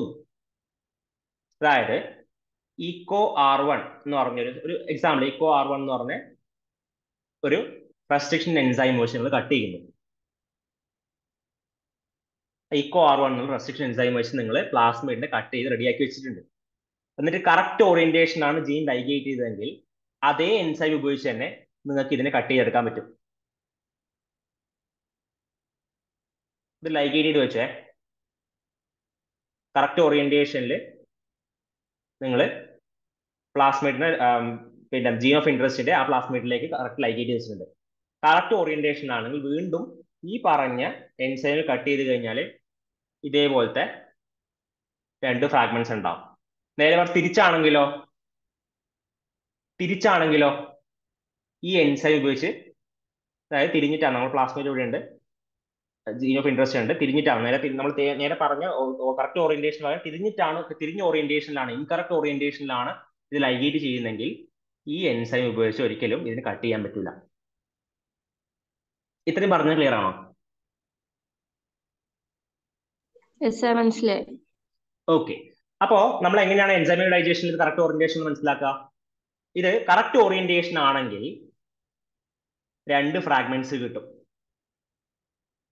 അപ്പൊ അത് നമ്മൾ ഇലക്ട്രോഫോറസ് നമ്മൾ കുറെ കോപ്പീസ് ഉണ്ടാക്കുന്നു. ഇലക്ട്രോഫോറസ് ചെയ്യുമ്പോൾ രണ്ട് ബാൻഡ് എന്നുള്ള രീതിയിൽ കാണാൻ പറ്റും. ശരിയല്ലേ? ശരിയല്ലേ? മനസ്സിലായില്ലേ പറഞ്ഞത്? കറക്റ്റ് ഓറിയന്റേഷൻ ആണ്. കട്ട് ചെയ്ത് കഴിഞ്ഞ് നമ്മൾ പി സി ആർ ഉപയോഗിച്ച് ആംപ്ലിഫൈ ചെയ്ത് കഴിഞ്ഞ് ഇലക്ട്രോഫോറസസ് ചെയ്യുമ്പോൾ രണ്ട് ബാൻഡ് എന്ന രൂപത്തിൽ കാണാൻ പറ്റും. ശരിയാണോ തെറ്റാണോ? ശരിയാണ് സർ രണ്ട് ബാൻഡ് കാണാം രണ്ട് ബാൻഡ് കാണാൻ പറ്റും. ഇവിടെ ആണെങ്കിലോ ഇൻകറക്റ്റ് ഓറിയന്റേഷൻ നമ്മൾ അത് എൻസൈം വെച്ച് കട്ട് ചെയ്ത് കഴിഞ്ഞാൽ എത്ര ബാൻഡ് കാണാൻ പറ്റും? ഒറ്റ ബാൻഡ് സർ കാരണം കട്ടാവത്തില്ല സോ കട്ടാവാത്തതുകൊണ്ട് എക്സലന്റ് ഒറ്റ ബാൻഡേ കാണാൻ പറ്റുള്ളൂ. അപ്പൊ നമുക്ക് ഈ രീതിയിൽ എൻസൈമാറ്റിക് ഡൈജഷൻ വെച്ചിട്ടും പ്രൈമറിന്റെ ഓറിയന്റേഷൻ കറക്റ്റ് ആണ്. മീൻസ് നമ്മളെ ഇതിന്റെ ജീൻ ഓഫ് ഇൻട്രസ്റ്റിന്റെ ഓറിയന്റേഷൻ കറക്റ്റ് ആണോ ഇൻകറക്റ്റ് ആണോ എന്ന് മനസ്സിലാക്കാൻ പറ്റും. ഈ രണ്ട് പോയിന്റ് ക്ലിയർ ആയി പറഞ്ഞത്?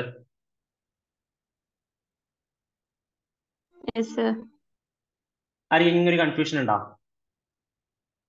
അപ്പൊ കുറച്ചുപേര് ഇതിൽ ചാറ്റിൽ ടൈപ്പ് ചെയ്തിട്ടുണ്ടായിരുന്നു കണ്ടിട്ടുണ്ടായില്ല. Shirley Chandra okay okay okay. Chat box minimise ചെയ്തിട്ടുണ്ടായിരുന്നു. ഓക്കെ അത് പറഞ്ഞിട്ടുണ്ടായിരുന്നു അല്ലേ? ഓക്കെ ഇത്ര പോലെ ക്ലിയർ ആയിരുന്നു ആർക്കും കൺഫ്യൂഷൻ ഉണ്ടോ? ചാറ്റ് ബോക്സ് ഞാൻ ഓൺ ആക്കി വെക്കാം. ആർക്കും കൺഫ്യൂഷൻ ഉണ്ടോ? ഇനി ടൈപ്പ് പറയാൻ ബുദ്ധിമുട്ട് ടൈപ്പ് ചെയ്തേ അല്ലെങ്കിൽ അല്ലെങ്കിൽ മൈക്ക് ഓൺ ആക്കി പറയാം. മൈക്ക് മൈക്ക് ഓൺ ആക്കി പറഞ്ഞാൽ അത്രയും എളുപ്പമായി. ആർക്കും ഈ പറഞ്ഞതിലെന്തും കൺഫ്യൂഷൻ ഉണ്ടോ?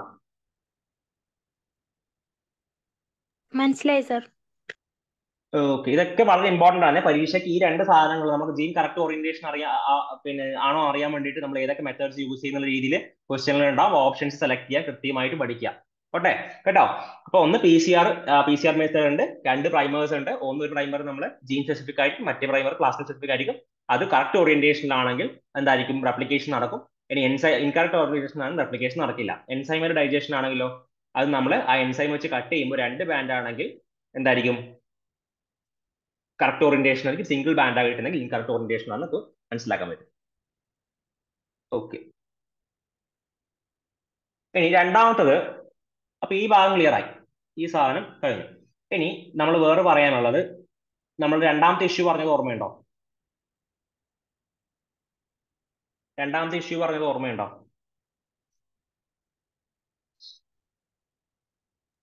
ഒന്നാമത്തെ issue yes self ligating vector ആണ് നമുക്ക് അടുത്ത പ്രശ്നം.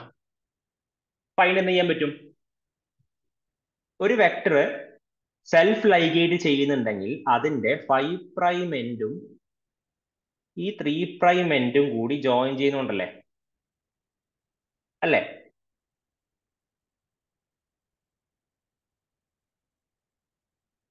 ആ പ്ലാസ്മിക് വെക്ടറിന്റെ ഈ ഫൈവ് പ്രൈം എൻഡും ത്രീ പ്രൈം എൻഡും കൂടി ജോയിൻ ചെയ്യുന്നത് കൊണ്ടല്ലേ സെൽഫ് ലൈഗേറ്റ് ചെയ്യുന്നത്? അതെ സർ അല്ലേ? അപ്പോ ഈ ഫൈവ് പ്രൈം എൻഡിൽ എന്താ ഉള്ളത്? എന്താ ഉള്ളത്?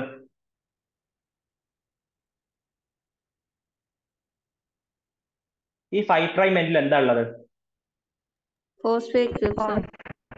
ഫോസ്ഫേറ്റ് ഗ്രൂപ്പ് ഉണ്ട് അല്ലെ? ഈ ഫോസ്ഫേറ്റ് ഗ്രൂപ്പിനെ നമുക്ക് ഇവിടുന്ന് തട്ടിക്കളഞ്ഞാലോ? ഇത് വീണ്ടും ലൈഗേറ്റ് ചെയ്യുക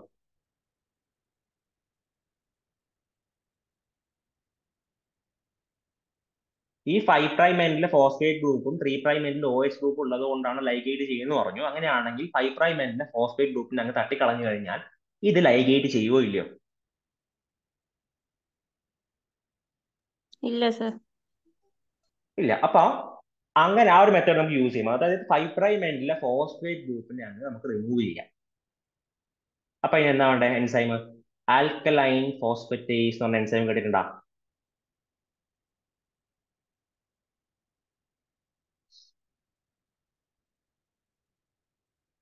ആ അൽക്ലൈൻ ഫോസ്ഫറ്റേസ് എന്ന എൻസൈം കേട്ടിട്ടുണ്ടോ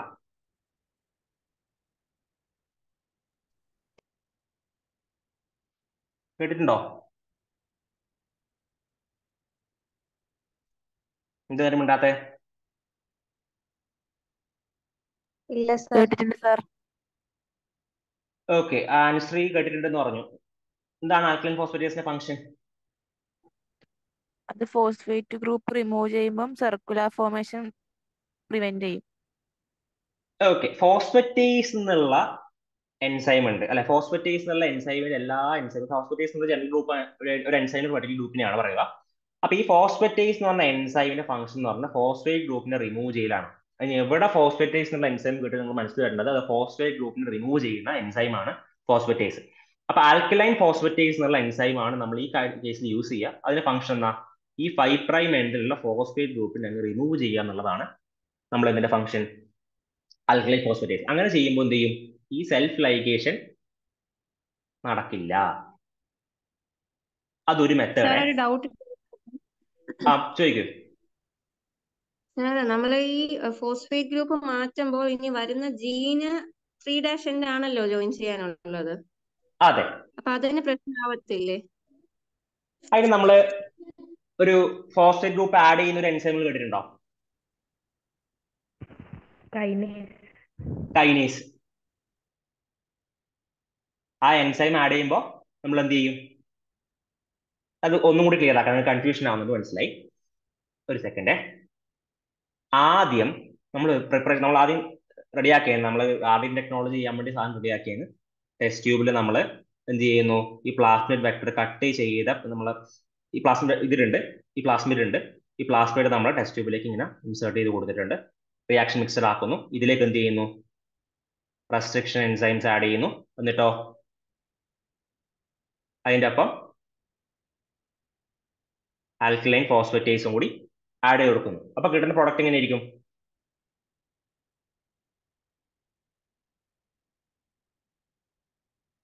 ശരിയാണോ തെറ്റാണോ?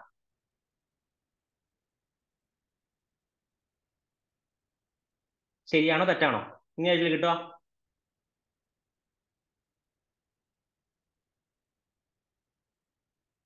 ശരിയാണ് സർ. ഓക്കെ. ഇനി നമ്മൾ അടുത്ത മിക്സ്ചർ അതായത് ഇതിലേക്കാണ് നമ്മൾ ഏത് ആഡ് ചെയ്യുന്നത്? ജീൻ ഓഫ് ഇൻട്രസ്റ്റ് ആഡ് ചെയ്യുന്നത്. അതിന്റെ ഒപ്പം തന്നെ നമ്മൾ ഏത് കൂടെ ആഡ് ചെയ്യുന്നത്? കൈനീസ് എൻസൈം ആഡ് ചെയ്യുന്നുണ്ട്. ഒപ്പം ഏതും കൂടി ഒരെണ്ണം കൂടി ഒരു എൻസൈം കൂടി ഉണ്ട്. പറ. ഏതാ? ലൈഗേസ് ലൈഗേസ് എടി പ്രശ്നം ഉണ്ടാവോ? ഇല്ല സർ. ഇല്ല. കാരണം കറക്റ്റ് ഓറിയന്റേഷനിൽ മീൻസ് നമ്മൾ ആ ജീൻ ഓഫ് ഇൻട്രസ്റ്റ് അതിലേക്ക് ലൈഗേറ്റ് ചെയ്യും. ഇപ്പൊ മനസ്സിലായോ? മനസ്സിലായി സർ. ഓക്കെ ഇതൊരു മെത്തേഡേ ഇതൊരു മെത്തേഡാണ് ഇനി രണ്ടാമത്തെ ഒരു മെത്തേഡും കൂടി ഉണ്ട്. ഒന്നാമത്തെ മെത്തേഡ് നമ്മൾ ആൽക്കലൈൻ ഫോസ്ഫേറ്റേസ് യൂസ് ചെയ്ത് പറഞ്ഞു. രണ്ടാമത്തെ മെത്തേഡ് നമുക്ക് രണ്ട് ടൈപ്പ് റെസ്ട്രിക്ഷൻ എൻഡോ ന്യൂക്ലിയസ് ഉപയോഗിച്ചിട്ട് വെക്ടറിനെ ക്ലീവ് ചെയ്യാം. അതായത് പ്ലാസ്മിക് വെക്ടർ ഉണ്ട്. ഇവിടെ ഒരു റെസ്ട്രിക്ഷൻ എൻഡോ ന്യൂക്ലിയസ് വെച്ച് കട്ട് ചെയ്യുന്നു. ഇവിടെ രണ്ടാമത്തെ റെസ്ട്രിക്ഷൻ എൻസൈം വെച്ച് കട്ട് ചെയ്യുന്നു. എന്തുകൊണ്ടായിരിക്കും? എന്തുകൊണ്ടായിരിക്കും അങ്ങനെ ചെയ്യുന്നത്?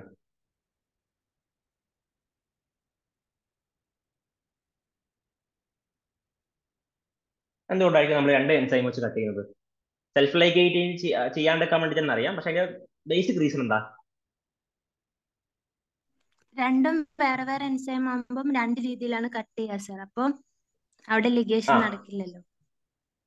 ഓക്കെ. പറഞ്ഞ എന്താ വെച്ച് കഴിഞ്ഞാൽ ഒരു എൻസൈം വെച്ച് ഉണ്ടാവുന്ന എൻഡ് ഇങ്ങനെയാണെങ്കിൽ മറ്റേത് ചിലപ്പം ഈ രീതി തന്നെ ആയിരിക്കും ഉണ്ടാവുക. മറ്റേതിന്റെ ആ ഉണ്ടാവുന്ന എൻഡും ഇതും രണ്ടും വ്യത്യാസമായിരിക്കും. രണ്ട് എൻസൈം വെച്ച് കട്ട് ചെയ്യുമ്പോൾ ഒരേ എൻസൈം വെച്ചിട്ടാണ് കട്ട് ചെയ്യുന്നതെങ്കിൽ അത് രണ്ടും ഒരേപോലത്തെ റെസ് അതിന്റെ ലാസ്റ്റ് ഉണ്ടാവുന്ന എൻഡ് ഒരുപോലെ ആയിരിക്കും പക്ഷെ രണ്ട് എൻസൈം വെച്ചാൽ കട്ട് ചെയ്യുന്നെങ്കിൽ രണ്ട് റെസ്ട്രിക്ഷൻ സൈറ്റ് ആണ് ഉണ്ടാവുക രണ്ട് റെസ്ട്രിക്ഷൻ സൈറ്റ് ഒരുമിച്ച് ജോയിൻ ചെയ്യാൻ പറ്റില്ല. ലൈഗേഷൻ എൻസൈം വെച്ച് ലൈഗേസ് എൻസൈം വെച്ച് ലൈഗേറ്റ് ചെയ്യാൻ പറ്റില്ല.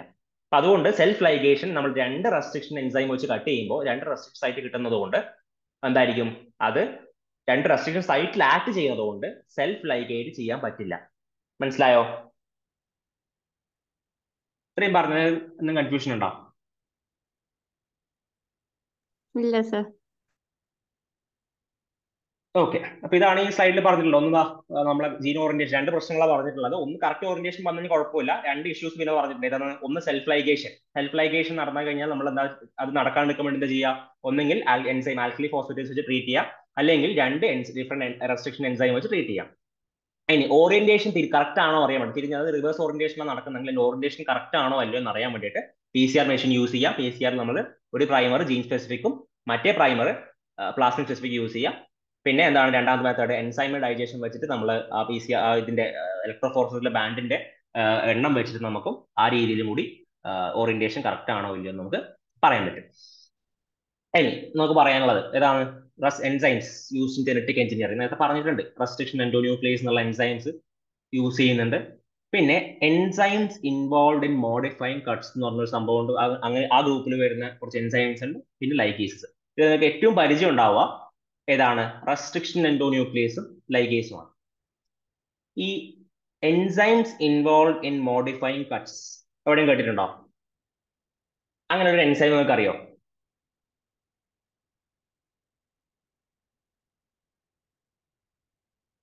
അങ്ങനെയുള്ള ഒരു എൻസൈം നിങ്ങൾക്ക് അറിയാം റെസ്ട്രിക്ഷൻ ഓർഗൻസ് അറിയാം. കട്ട് ചെയ്യാൻ വേണ്ടിയിട്ടാണ്. ലൈഗേസ് നിങ്ങൾക്ക് അറിയാം ജോയിൻ ചെയ്യാൻ വേണ്ടിയിട്ടാണ്. പക്ഷെ enzymes involve in modifying cuts എന്താണ്?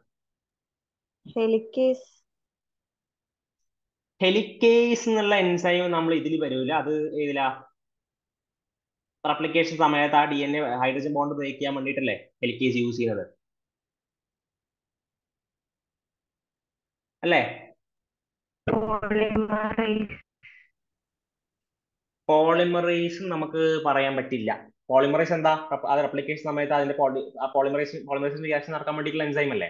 ഞാൻ ചോദിച്ചത് ഏതാന്ന് വെച്ച് കഴിഞ്ഞാൽ ശ്രദ്ധിച്ചു കേൾക്കാം ഞാൻ ചോദിച്ച ചോദ്യം എന്ന് വെച്ച് കഴിഞ്ഞാൽ ഡി എൻ എ മീൻസ് ആ ഡി ആ ജീനിനെ കട്ട് ചെയ്ത് കഴിഞ്ഞു അല്ലെങ്കിൽ പ്ലാസ്മ വെക്ടറിനെ കട്ട് ചെയ്ത് കഴിഞ്ഞു അതിലുണ്ടാവുന്ന എൻഡ് ഈ എൻഡ് മോഡിഫൈ ചെയ്യാൻ വേണ്ടിയിട്ടുള്ള എൻസൈംസ് നിങ്ങൾക്ക് അറിയോ ഇല്ലെന്നാണ് ചോദ്യം. ഏതെങ്കിലും ഒരു എൻസൈം പറയാൻ പറ്റുമോ ആ ആൽക്കലൈൻ ഫോസ്ഫേറ്റേസ് അതന്നെ പറഞ്ഞത്. അത് നിങ്ങൾക്ക് ആ ലോജിക്ക് ഇങ്ങോട്ട് കിട്ടുന്നുണ്ടോ അറിയാൻ വേണ്ടി ചോദിച്ചേ. അപ്പൊ അതിന്റെ ഒരു എക്സാമ്പിൾ ആണ് ഈ ആൽക്കലൈൻ ഫോസ്ഫേറ്റേസ് എന്ന് പറഞ്ഞ എൻസൈം അതായത് ഈ മോഡിഫൈ കട്ട് ഈ എൻസൈം ഈ ഈ ഭാഗത്ത് ഈ ഈ കട്ട് ചെയ്ത ഈ ഭാഗത്തിനെ ഈ നമ്മൾ റെസ്ട്രിക്ഷൻ എൻസൈം വെച്ച് കട്ട് ചെയ്ത് കിട്ടുന്ന ആ എൻഡിനെ മോഡിഫൈ ചെയ്യാൻ വേണ്ടിയിട്ട് പല തരത്തിലുള്ള എൻസൈമുകൾ യൂസ് ചെയ്യുന്നുണ്ട്. അതിൽ ഒന്ന് ഇപ്പൊ ഞാൻ പരിചയപ്പെടുത്തി അൽക്ലൈൻ ഫോസ്ഫറ്റേസ് എന്താണ് ഫംഗ്ഷൻ ഫൈവ് പ്രൈം എൻഡിലുള്ള ഫോസ്ഫേറ്റ് ഗ്രൂപ്പിനെ അങ്ങ് റിമൂവ് ചെയ്യുക എന്നുള്ളതാണ് അതിന്റെ ഫംഗ്ഷൻ ഓക്കെ ഇനി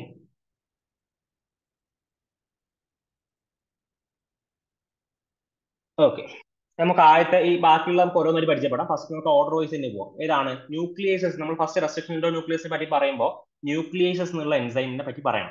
ന്യൂക്ലിയേസസ് എന്ന് വെച്ച് കഴിഞ്ഞാൽ കട്ട് ചെയ്യാൻ യൂസ് ചെയ്യുന്ന എൻസൈംസ് ആണ്. അത് രണ്ട് തരത്തിലുണ്ട്.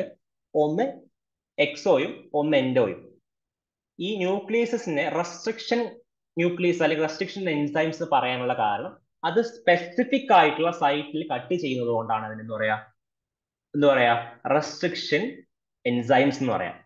അതായത് കട്ട് ഏതും കട്ട് ചെയ്യുന്ന എൻസൈം ന്യൂക്ലിയസസ് എന്ന് പറയും. പക്ഷെ അത് സ്പെസിഫിക് സൈറ്റിലാണ് കട്ട് ചെയ്യുന്നതെങ്കിൽ അതിന് റെസ്ട്രിക്ഷൻ എൻസൈംസ് അല്ലെങ്കിൽ റെസ്ട്രിക്ഷൻ ന്യൂക്ലിയസസ് എന്ന് പറയാം. ഈ റെസ്ട്രിക്ഷൻ ന്യൂക്ലിയസ് അല്ലെങ്കിൽ റെസ്ട്രിക്ഷൻ എൻസൈംസ് രണ്ട് തരത്തിലുണ്ട്. ഒന്ന് ഞാൻ ആദ്യം പറഞ്ഞിട്ടുണ്ടായിരുന്നു. ഒന്ന് റെസ്ട്രിക്ഷൻ എക്സോ ന്യൂക്ലിയേസും മറ്റേത് റെസ്ട്രിക്ഷൻ എൻഡോ ന്യൂക്ലിയേസും ഇത് രണ്ട് തമ്മിലെ ഡിഫറൻസ് പറഞ്ഞു തരണം ആദ്യം. ഈ രണ്ട് തമ്മിലെ ഡിഫറൻസ് അറിയാത്ത ആരെങ്കിലും ഉണ്ടോ? ക്ലാസ്സിൽ ലാസ്റ്റ് ജോയിൻ ചെയ്യുന്ന ആരെങ്കിലും ഉണ്ടോ? ഒന്ന് പെട്ടെന്ന് പറയണേ. ക്ലിയർ ആണെങ്കിൽ ഓക്കെ പറയാം. അല്ലെങ്കിൽ ക്ലിയർ അല്ല എന്ന് പറയാം.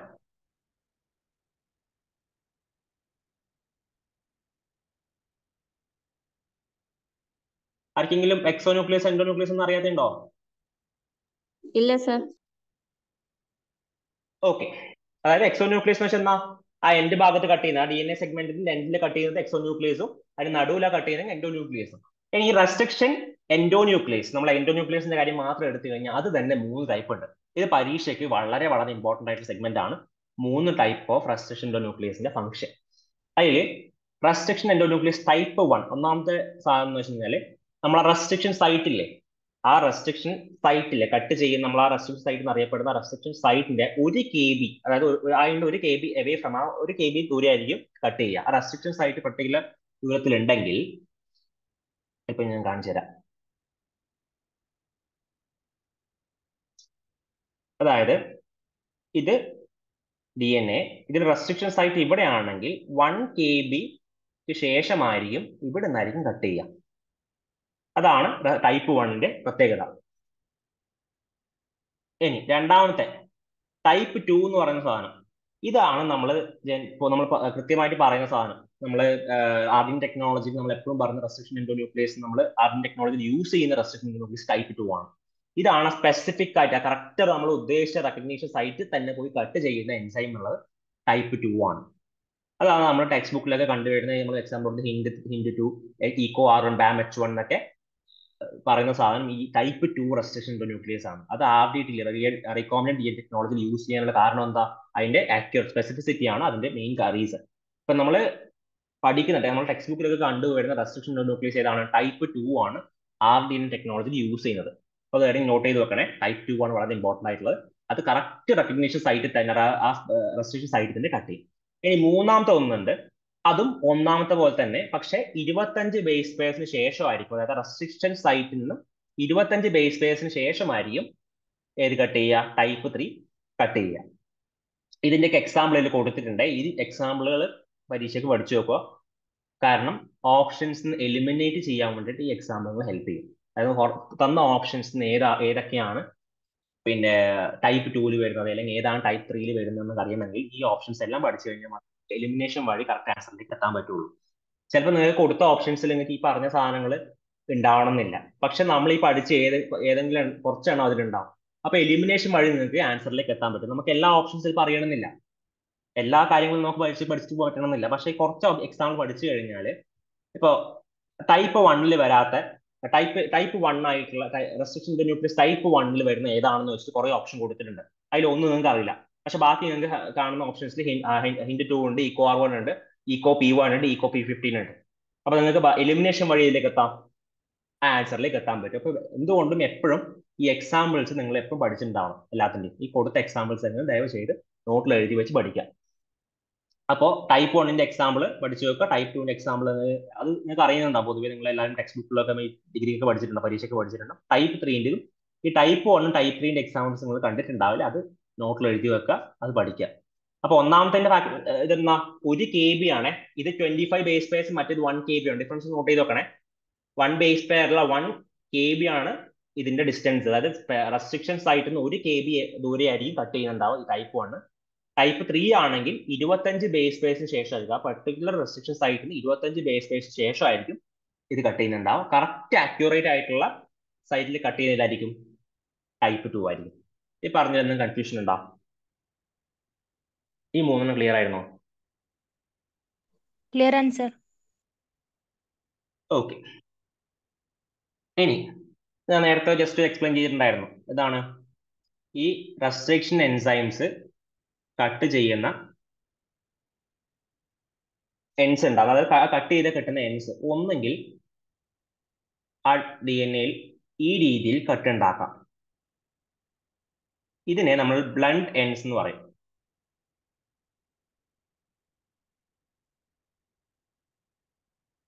ഇനി രണ്ടാമത്തെ എങ്ങനെയായിരിക്കും? ഇതുപോലെ പ്രൊജക്റ്റ് ചെയ്യുന്ന രീതിയിൽ കട്ടുണ്ടാക്കാം ഇതെന്ന് പറയും?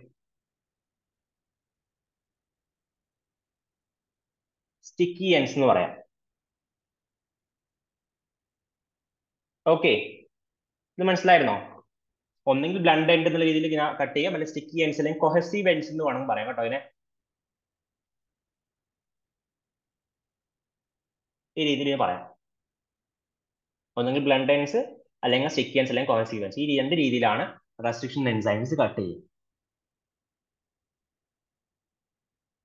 അപ്പൊ നിങ്ങൾ ഈ ചിത്രത്തിൽ കാണുന്ന പോലെ തന്നെ അതൊരു എൻസൈം ഉണ്ട്. ഇതാണ് ഈ റെഡിൽ കൊടുത്തിട്ടുള്ളതാണ് എന്റെ റെസ്ട്രിക്ഷൻ സൈറ്റ് എങ്കിൽ. ആ റെഡിൽ കൊടുത്തിട്ടുള്ള റെസ്ട്രിക്ഷൻ സൈറ്റ് എങ്കിൽ അത് കെട്ടുമ്പോൾ എ എൽ യു വൺ എന്ന് പറഞ്ഞ റെസ്ട്രിക്ഷൻ എൻസൈം വെച്ച് കട്ട് ചെയ്യുമ്പോൾ ഈ രീതിയിൽ അതായത് ഒരു സൈറ്റ് ഒരു ഓവർഹാങ്സ് ഇല്ലാണ്ട് ഒരു ഒരു ഇതിലും സ്റ്റാൻഡിലും ഓവർഹാങ്സ് ഇല്ലാണ്ട് ഇതുപോലെ പ്ലെയിൻ ആയിട്ടാണ് കിട്ടുന്ന ബ്ലണ്ടൻസ് എന്ന് പറയും. ഇനി സ്റ്റിക്കി എൻസ് ആണെങ്കിലോ റെസ്ട്രിക്ഷൻ സൈറ്റിൽ ഇതുപോലെ ഓവർ ഹാങ്സ് ഉണ്ടാവും. ഏതെങ്കിലും ഒരു സ്റ്റാൻഡിൽ ഓവർ ഹാങ്സ് തള്ളി നിൽക്കുന്ന രീതി ഉണ്ടാവും. ഇതിനെയാണ് നമ്മൾ സ്റ്റിക്കി എൻസ് പറയാം. പിന്നെ നമ്മൾ ഓർക്കേണ്ട കാര്യം പാലിൻഡ്രോമിക് സീക്വൻസ് ആണ് എപ്പോഴും റെക്കഗ്നൈസ് ചെയ്യുക. റെസ്ട്രിക്ഷൻ എൻഡോന്യൂക്ലിയസ് എന്ന് പറഞ്ഞ എൻസൈംസ് റെക്കഗ്നൈസ് ചെയ്യുന്ന സീക്വൻസ് പാലിൻഡ്രോമിക് സീക്വൻസ് ആയിരിക്കും. എന്താണ് പാലിൻഡ്രോമിക് സീക്വൻസ് എന്താണ് പാലിൻഡ്രോമിക് സീക്വൻസ് അത് നമ്മളെ പറഞ്ഞേ? രണ്ട് ഡയറക്ഷനിലും സെയിം ആയിട്ട് റീഡ് ചെയ്യും. രണ്ട് ഡയറക്ഷനിലും സെയിം ആയിട്ട് റീഡ് ചെയ്യുന്ന സീക്വൻസിനാണ് നമ്മൾ പാലൻഡ്രോമിക് സീക്വൻസ് ഈ സീക്വൻസ് കണ്ടോ സ്ക്രീനിൽ റെഡിൽ കൊടുത്ത് നോക്ക്. എ ജി സി ടി അതുപോലെ തിരിച്ച് താഴത്തെ സീക്വൻസ് നേരെ തിരിഞ്ഞ് എ ജി സി ടി കാണാം. ഇവിടെ നോക്കിക്കോ. G A A T T C അതുപോലെ താഴത്തെ സ്റ്റാൻഡ് നോക്ക്. നേരെ തിരിഞ്ഞ അതേ സീക്വൻസ് തന്നെ. അപ്പൊ മുന്നിൽ നിന്ന് വായിച്ചാലും ബാക്കിൽ നിന്ന് വായിച്ചാലും ഒരുപോലെ കിട്ടുന്ന സീക്വൻസ് ആയിരിക്കും പാലൻഡ്രോമിക് സീക്വൻസ് എന്ന് പറയാം. അപ്പൊ അങ്ങനെയുള്ള സീക്വൻസ് ആണ് എന്ത് കട്ട് ചെയ്യുക? റെസ്ട്രിക്ഷൻ എൻഡോ ന്യൂക്ലിയസ് കട്ട് ചെയ്യുക. ഈ രണ്ട് പോയിന്റ് ക്ലിയർ ആണോ?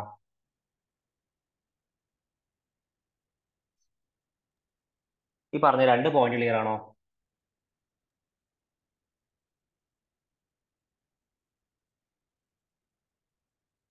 മനസ്സിലാത്ത ആരും കൊണ്ടാ ഒന്നും ഉണ്ടെന്നില്ല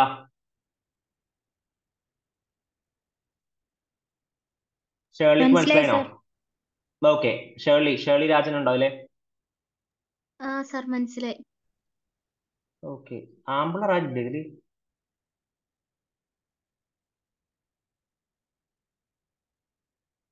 ഓക്കെ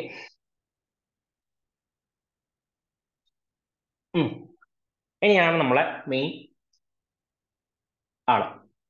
ഇനി മുന്നേ ഒരു ക്വസ്റ്റ്യൻ ചെയ്യണമെന്നുണ്ടായിരിക്കും ഒരു ക്വസ്റ്റ്യൻ ചെയ്താൽ കൊള്ളാമെന്നുണ്ടോ?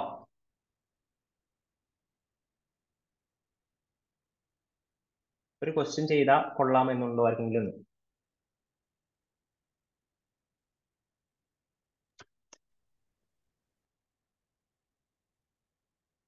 എന്തിനാലും है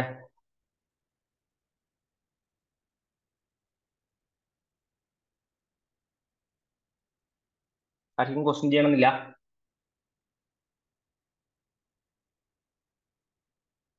ശ്രീലക്ഷ്മി പറഞ്ഞ ക്വസ്റ്റ്യൻ ചെയ്യണോ വേണ്ടയോ ശ്രീലക്ഷ്മി പറ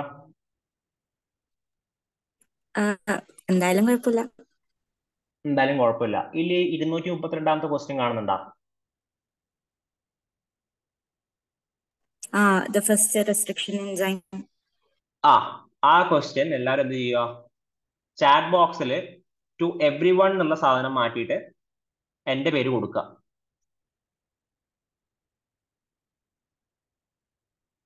മനസ്സിലായ? ചാറ്റ് ബോക്സിൽ ആൻസർ ടൈപ്പ് ചെയ്യുമ്പോൾ ടു എവ്രി വൺ എന്നുള്ളത് മാറ്റിയിട്ട് എന്റെ പേര് കൊടുക്കുക. എന്നിട്ട് നിങ്ങൾ ആൻസർ ടൈപ്പ് ചെയ്യുക.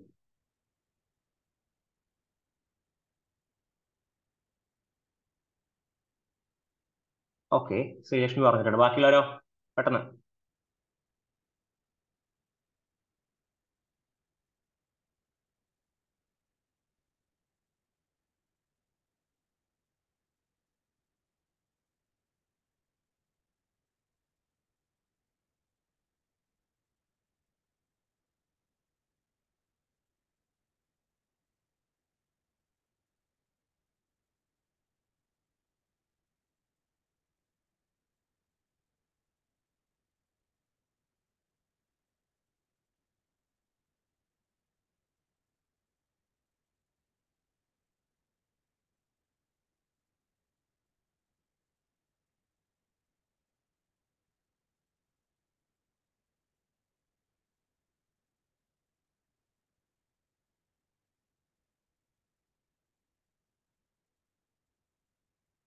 എല്ലാവരും ആയോ? ഏകദേശം എല്ലാവരും ആയി എന്ന് വിചാരിച്ചു കാരണം ടൈപ്പ് ചെയ്യാൻ ബാക്കിയാണെങ്കിൽ പെട്ടെന്ന് ടൈപ്പ് ചെയ്താ അപ്പോ ആ നവ്യ മനീഷ് ഇട്ടിട്ടുണ്ട് ബാക്കി എല്ലാവരും ആയില്ലേ?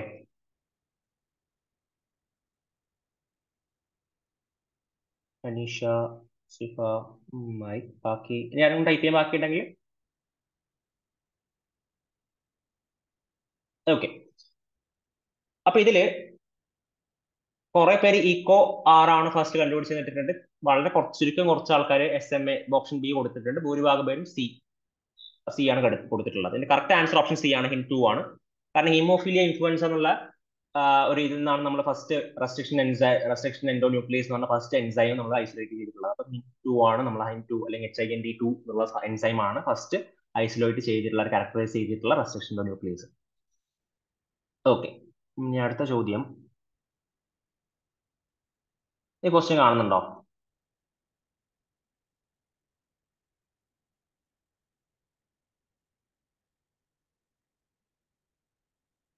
പിന്നെ cloning experiment alkaline phosphatase generally use to dephosphorylate plasmid vector rather than the insert D N A fragment because എന്തുകൊണ്ടായിരുന്നു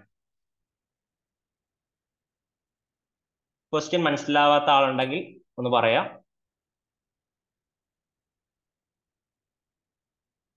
അല്ലെങ്കിൽ നിങ്ങൾക്ക് ചാറ്റ് ബോക്സിൽ എന്റെ പേര് കൊടുത്തിട്ട് നിങ്ങൾക്ക് ആൻസർ ടൈപ്പ് ചെയ്യാം. ഓപ്ഷൻസ്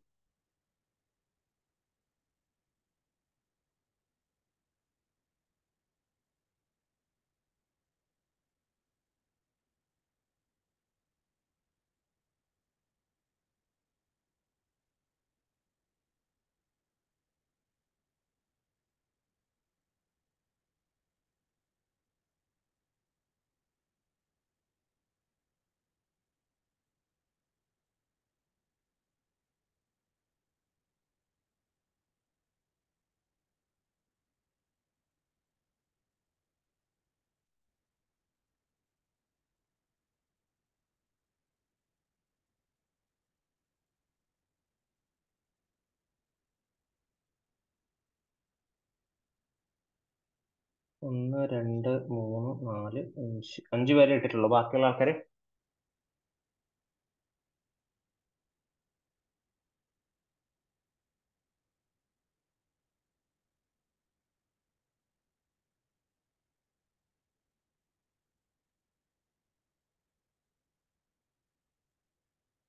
ലോജിക് വെച്ച് ആലോചിച്ച് നോക്കുക. എൻസൈമിന്റെ ഫങ്ഷൻ ആലോചിച്ച് നോക്കുക.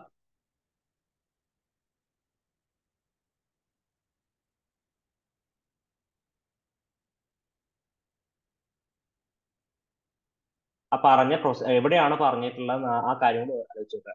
ഈ ആ പറഞ്ഞ പെർട്ടിക്കുലർ എൻസൈമിന്റെ ഫംഗ്ഷൻ എവിടെ പറഞ്ഞു കൂടെ ആലോചിച്ച് നോക്കുക. എന്തിനാണ് അതിന്റെ ഫംഗ്ഷൻ നമ്മൾ അവിടെ യൂസ് ചെയ്യുന്നത് ആലോചിച്ച് നോക്കുക. അങ്ങനെയാണെങ്കിൽ കറക്റ്റ് ആൻസറിലേക്ക് എത്താൻ പറ്റും. കഴിഞ്ഞു. എല്ലാവരും ആയോ? പോരല്ലോ. ഇനിയും ആൾക്കാരുണ്ടല്ലോ.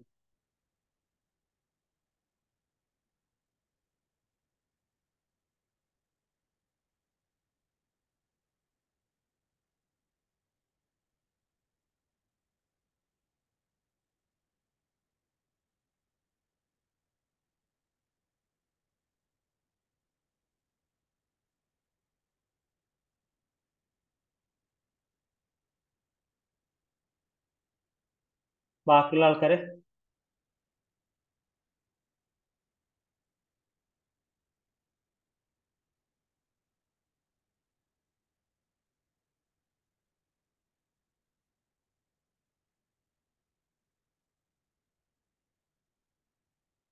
ഇനി പറയാനുണ്ടോ?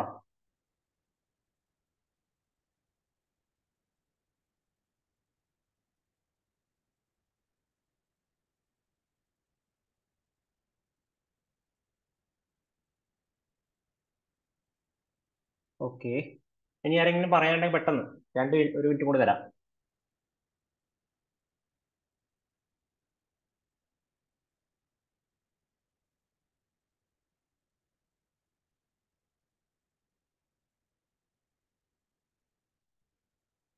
കുറേ പേര് ഓപ്ഷൻ നമ്പർ ഫോർ കളക്ട് ചെയ്തിട്ടുണ്ട്. ആരെങ്കിലും സംസാരിച്ചായിരുന്നോ?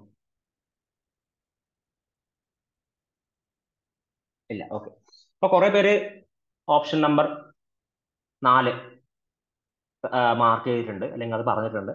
നാലാമത്തെ ഓപ്ഷൻ എന്താ കൊടുത്തിട്ടുള്ളത്? Vector cannot ligate to a dephosphorylated insert D N A fragment ഈ ഓപ്ഷൻ എന്ന് പറയുന്നത്? ഡി ഫോസ്ഫോറിലേറ്റ് ചെയ്തിട്ടുള്ള ഡി എൻ എ ഫ്രാഗ്മെന്റുമായിട്ട് ഈ വെക്ടർ ലൈഗേറ്റ് ചെയ്യാൻ പറ്റില്ല പറഞ്ഞ ശരിയാണ്. ആ സ്റ്റേറ്റ്മെന്റ് കറക്റ്റ് ആണ്. പക്ഷെ നമ്മൾ എന്തുകൊണ്ടാണ് ഈ ആൽക്കലിൻ ഫോസ്ഫേറ്റേസ് യൂസ് ചെയ്തത്? അതിന്റെ ഫംഗ്ഷൻ എന്തിനാ? D N A fragment dephosphorylate ചെയ്യാനോ ഡിഫോസ്ഫോറേറ്റ് ചെയ്യാനാണോ ഏതിനെ ഡിഫോസ്ഫോറേറ്റ് ചെയ്യാൻ വേണ്ടിയിട്ടാണ്? വെക്ടറിനെ ഡിഫോസ്ഫോറൈലേറ്റ് ചെയ്യാൻ വേണ്ടിയിട്ടാണ് നമ്മൾ എന്ത് ചെയ്യുന്നത്? ആൽഫൈൻ ഫോസ്ഫേറ്റേസ് യൂസ് ചെയ്യുന്നത്. ഒന്നാമത്തെ കാര്യം. രണ്ടാമത്തെ കാര്യം എന്തിനു വേണ്ടിയിട്ടാണ്? അത് സെൽഫ് ലൈഗേറ്റ് ചെയ്യാണ്ടിരിക്കാൻ വേണ്ടിയിട്ട്. കുറച്ച് പേര് ഒന്നാമത്തെ ഓപ്ഷൻ കറക്റ്റ് ആയിട്ടുണ്ട് അപ്പം നാലാമത്തെ ഓപ്ഷൻ അല്ലെന്ന് ഉറപ്പായി. കാരണം എന്തുകൊണ്ടാണ് ഇതിൽ പറഞ്ഞിട്ടുള്ളത് dephosphorylated insert D N A fragment എന്നാണ്. അതായത് നമ്മൾ insert D N A fragment ആ ജീൻ ഓഫ് ഇൻട്രസ്റ്റ് ആണ് പറഞ്ഞിട്ടുള്ളത്. ആ ജീൻ ഓഫ് ഇൻട്രസ്റ്റിലാണോ ഡി ഫോസ്ഫോറൈലേറ്റ് ചെയ്യുന്നത്? അല്ലല്ലോ. നമ്മൾ ഏതിലാണ് ഡി ഫോസ്ഫോറൈലേറ്റ് ചെയ്യുന്നത്? പ്ലാസ്മിലേറ്ററിലാണ് അപ്പൊ ആ ഓപ്ഷൻ തെറ്റാണ്. കാരണം ഇതിൽ ആൽക്കലൈൻ ഫോസ്ഫേറ്റ് എന്തിനാണ് യൂസ് ചെയ്തിട്ടുള്ളതെന്ന് ചോദിച്ചിട്ടുള്ളത്. ഒന്നാമത്തെ ഓപ്ഷൻ കുറെ പേര് ഒന്നാമത്തെ ഓപ്ഷൻ പറഞ്ഞിട്ടുണ്ട്. Alkaline phosphatase can only dephosphorylate plasmid vector and not insert D N A fragment ഞാൻ പ്ലാസ്മിഡ് വെക്ടറിൽ മാത്രമേ ആൽക്കലൈൻ ഫോസ്ഫേറ്റേസ് യൂസ് ചെയ്യാൻ പറ്റുമെന്ന് പറഞ്ഞിട്ടുണ്ടോ?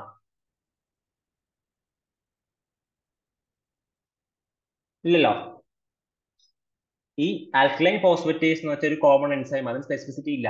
അത് എവിടെ ഫ്രൈ പ്രൈമെന്റിലും ഇത് കണ്ടു കഴിഞ്ഞാൽ ഫോസ്ഫേറ്റ് ഗ്രൂപ്പ് കണ്ടു കഴിഞ്ഞാൽ റിമൂവ് ചെയ്യും. അപ്പൊ അതുകൊണ്ടാണ് നമ്മൾ ആദ്യം റിയാക്ഷൻ മിക്സർ ഉണ്ടാക്കുന്നതിന് മുന്നേ തന്നെ നമ്മൾ എല്ലാം കൂടി മിക്സ് ചെയ്യാത്തത്. നമ്മൾ ആദ്യം എന്ത് ചെയ്തത്? ആ ആൽക്കലൈൻ ഫോസ്ഫേറ്റേസിലുള്ള മിക്സ്ചറിൽ എന്ത് മാത്രമേ ഉണ്ടായിരുന്നുള്ളൂ? ആ പ്ലാസ്മിഡ് വെക്ടർ മാത്രമേ ഉണ്ടായിരുന്നുള്ളൂ. ജീൻ ഓഫ് ഇൻട്രസ്റ്റ് ഉണ്ടായിരുന്നില്ല. അത് കട്ട് അത് അതിന് ശേഷമാണ് നമ്മൾ ആ റിയാക്ഷൻ മൊത്തം നടന്നതിന് ശേഷമാണ് നമ്മൾ എന്ത് ചെയ്യുന്നത്? ആ ലൈഗേഷൻ നടക്കുന്നത്. അപ്പോ ഈ ഓപ്ഷൻ തെറ്റാണ്. കാരണം ആൽക്കലൈൻ ഫോസ്ഫറ്റേസ് എന്നുള്ള സാധനം രണ്ടിനെയും കട്ട് ചെയ്യുന്നുണ്ട്. പിന്നെ അപ്പൊ അത് നമ്മൾ ആ ഓപ്ഷൻ ഒഴിവാക്കി. പിന്നെ രണ്ടാമത്തെ option vectors can self ligate and form colonies upon introduction to host colonies correct അല്ലേ? എന്തിനാ നമ്മൾ യൂസ് ചെയ്യുന്നത്? പ്ലാസ്മിക് വെക്ടറിൽ എന്തുകൊണ്ടാണ് നമ്മൾ ഈ ആൽക്കലിൻ ഫോസ്ഫേറ്റേസ് യൂസ് ചെയ്തിട്ടുള്ളത്? അത് യൂസ് ചെയ്തിട്ടില്ലെങ്കിൽ എന്ത് ചെയ്യും? സെൽഫ് ലൈഗേറ്റ് ചെയ്യും. എന്നിട്ട് അത് കോളനൈസ് ഇൻട്രൊഡ്യൂസ് ചെയ്യും. അതുപോലെ തന്നെ അത് കോളനൈസ് ട്രാൻസ്ഫർ ചെയ്യും ചെയ്യും. ക്വസ്റ്റൻ എന്താ കൊടുത്തിട്ടുള്ളത് cloning experiment alkaline phosphate generally use to dephosphorylate plasmid vector rather than insert D N A fragment because plasmid വെക്ടറിനെ dephosphorylate ചെയ്യാൻ യൂസ് ചെയ്യുന്നു.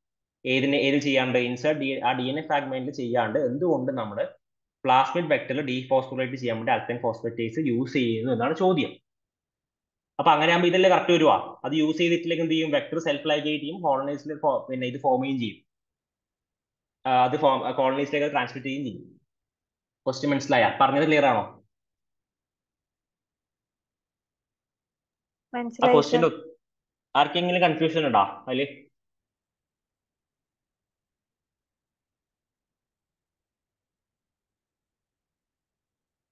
ആർക്കെങ്കിലും കൺഫ്യൂഷൻ ഉണ്ടോ ചോദ്യത്തിൽ? മനസ്സിലായി സർ ഓക്കെ അപ്പൊ ഇതുപോലെയുള്ള ചോദ്യങ്ങളാണ് നിങ്ങൾക്ക് പരീക്ഷയ്ക്ക് എക്സ്പെക്ട് ചെയ്യാൻ പറ്റുക. ഡയറക്റ്റ് ആണ് ഒരു കണക്കിന് ആലോചിച്ച് കഴിഞ്ഞാൽ വലിയ പണിയൊന്നുമില്ല. ആ സ്റ്റേറ്റ്മെന്റ് പഠിച്ചു കഴിഞ്ഞാൽ ഡയറക്റ്റ് ആൻസർ ചെയ്യാം. പക്ഷെ കുറച്ചൊന്ന് ആലോചിക്കേണ്ടി വരും. ലോജിക് കുറച്ചൊന്ന് അപ്ലൈ ചെയ്യേണ്ടി വരും. ആ സ്റ്റേറ്റ്മെന്റ് കറക്റ്റ് വായിച്ചു നോക്കുക നമ്മൾ എന്തിനാണ് നമ്മൾ ആ അൽക്കലൈൻ ഫോസ്ഫേറ്റീസിന്റെ ഫംഗ്ഷൻ ആലോചിച്ച് എന്തിനു പഠിച്ചെന്ന് ആലോചിച്ച് നോക്കുക എവിടെയാ യൂസ് ചെയ്യുന്ന ആലോചിച്ച് നോക്കുക ആ എൻസൈമിന്റെ ഫംഗ്ഷൻ എന്ന് ആലോചിച്ച് നോക്കുക ഇതൊക്കെ എഴുതി വെച്ചിട്ട് വേണം നമ്മൾ മനസ്സിലാക്കിയിട്ട് വേണം ക്വസ്റ്റ്യൻ ആൻസർ ചെയ്യാൻ വേണ്ടിയിട്ട്. ആൻസർ ചെയ്യുമ്പോൾ ശ്രദ്ധിക്കേണ്ടത്. അപ്പോ ഇനിയിപ്പോ അടുത്ത പറയാനുള്ളത് എൻസൈംസ് യൂസ്ഡ് ആ മോഡിഫിക്കേഷൻ എൻസൈംസ് നമ്മൾ പിന്നെ ഒന്നുകൂടെ പരിചയപ്പെട്ടിട്ടുണ്ട്. ഇതാണ് ആൽക്ലൈൻ ഫോസ്ഫേറ്റേസ് എന്ന് പറഞ്ഞിട്ടുണ്ട് അല്ലെ?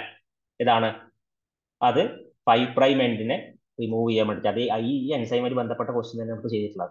ഇതിലൊരു ഇൻട്രസ്റ്റിംഗ് ഫാക്ട് ഉണ്ട്. ഇത് കാഫ് ഇൻട്രസ്റ്റൈന് ഒപ്റ്റെയിൻ ചെയ്യുന്നതാണ്. ഇങ്ങനെയും വേണമെങ്കിൽ ഇതുമായിട്ട് ബന്ധപ്പെട്ട് ഫാക്ട് ബേസ് ക്വസ്റ്റ്യൻ വരാം. ആൽക്കൈൻ ഫോസ്പെറ്റീസ് ഒപ്റ്റെയിൻഡ് ഫ്രം എന്നിട്ട് ഏതെങ്കിലും ഒരു ആനിമലിൽ കൊടുത്തിട്ടുണ്ടാവും അപ്പോൾ ഇത് ആലോചിക്കേണ്ടത് alkyne phosphatase obtain from calf intestine അതിന്റെ ഫംഗ്ഷൻ നിങ്ങൾ പഠിച്ചിട്ടുണ്ടോ? ഹൈ പ്രൈമിലെ ഫോസ്ഫേറ്റ് റിമൂവ് ചെയ്യാം. പിന്നെ പോളി ന്യൂക്ലിയോട്ടോയിഡ് കൈനീസ് എന്ന് പറഞ്ഞ എൻസൈം ഉണ്ട്. ഇത് വളരെ ഇൻട്രസ്റ്റിംഗ് ആയിട്ടുള്ളൊരു എൻസൈമാണ് ഇതിൽ നമുക്ക് ഇതിൽ കൊടുത്തിട്ടുള്ളത് ഫോസ്ഫേറ്റ് ഗ്രൂപ്പിനെ ഹൈപ്രൈമെന്റിലേക്ക് ആഡ് ചെയ്യുന്നുള്ളതാണ് ഇതിൽ കൊടുത്തിട്ടുള്ളത്. നമ്മൾ നേരത്തെ പഠിച്ചത് ഓർമ്മയുണ്ടോ? നേരത്തെ ഒരാൾ ഡൗട്ട് ചോദിച്ചു നമ്മൾ കൈനീസ് എൻസൈം ആഡ് ചെയ്യുന്നു പറഞ്ഞ ഓർമ്മയുണ്ടോ? ഓർമ്മയുണ്ടോ?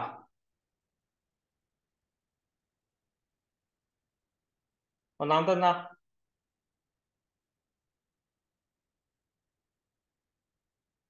ആൽക്കലൈൻ ഫോസ്ഫറ്റേസ് എന്താ അതിന്റെ ഫംഗ്ഷൻ ഫൈവ് പ്രൈം എൻഡിലെ ഫോസ്ഫേറ്റിനെ റിമൂവ് ചെയ്യാം. രണ്ടാമത്തെ എന്താ പറഞ്ഞ? Polynucleotide kinase P N K polynucleotide kinase എന്ന് പറഞ്ഞ എൻസൈം രണ്ടാമെന്ന് പറഞ്ഞിട്ടുള്ളത്. ഇതൊരു പ്രത്യേകതയുള്ള എൻസൈമാണ് ഇതിന് നാല് സബ് യൂണിറ്റ്സ് ഉണ്ട്. ഇതിലെ ആദ്യത്തെ രണ്ട് സബ് യൂണിറ്റ് ഫൈവ് പ്രൈം എൻഡിലെ ഫോസ്ഫേറ്റ് ഗ്രൂപ്പ് റിമൂവ് ചെയ്യാൻ യൂസ് ചെയ്യുന്നു. പിന്നത്തെ രണ്ട് സബ് യൂണിറ്റ് ത്രീ പ്രൈം എൻഡിൽ എന്താണ്? ഫൈവ് പ്രൈം എൻഡിൽ ഫോസ്ഫേറ്റ് ഗ്രൂപ്പിനെ ആഡ് ചെയ്യുന്നു. അത് ത്രീ പ്രൈം എൻഡിൽ എന്ത് ചെയ്യുന്നു?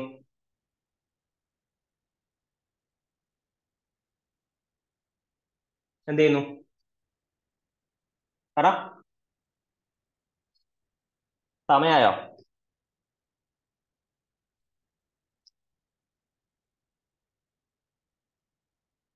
പറ.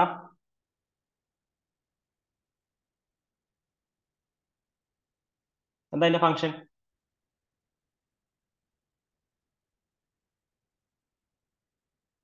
ഫൈവ് പ്രൈം എൻഡിലെ ഫോസ്ഫേറ്റ് ഗ്രൂപ്പിന് ആഡ് ചെയ്ത് കൊടുക്കാനുള്ള ഫംഗ്ഷനാണ് പോളിനോഫിയുടെ കൈനേസിനുള്ളത് അല്ലേ?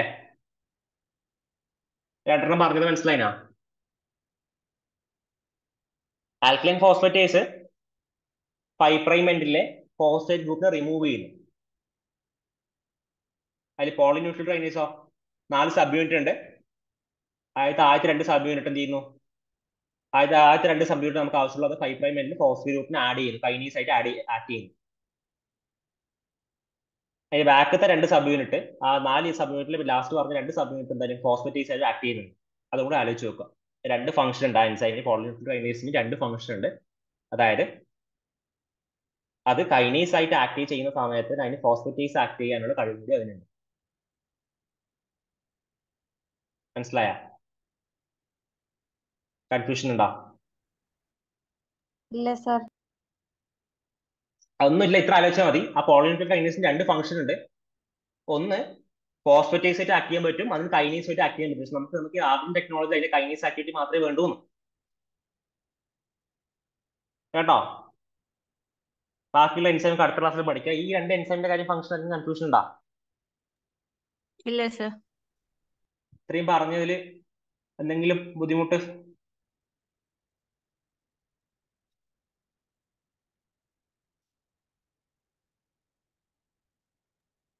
ഇല്ല സർ ആർക്കെങ്കിലും എന്തെങ്കിലും സംശയം ചോദിക്കാനുണ്ടോ എടുത്തതിൽ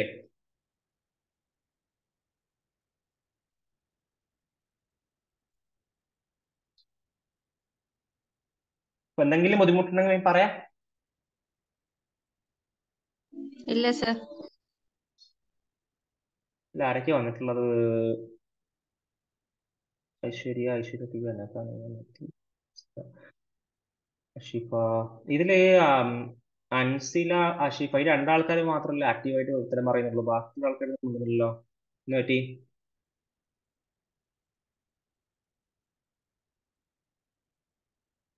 ഈ റിയൽമി സി ടു ആരാണ്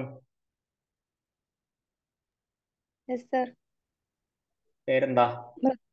മൃദുല. മൃദുല. മൃദുല എന്ത് ചെയ്യുന്നത് ഏത് കോളേജാ Brennan college Brennan college Kannur. Calicut university നേരം കൊണ്ടാ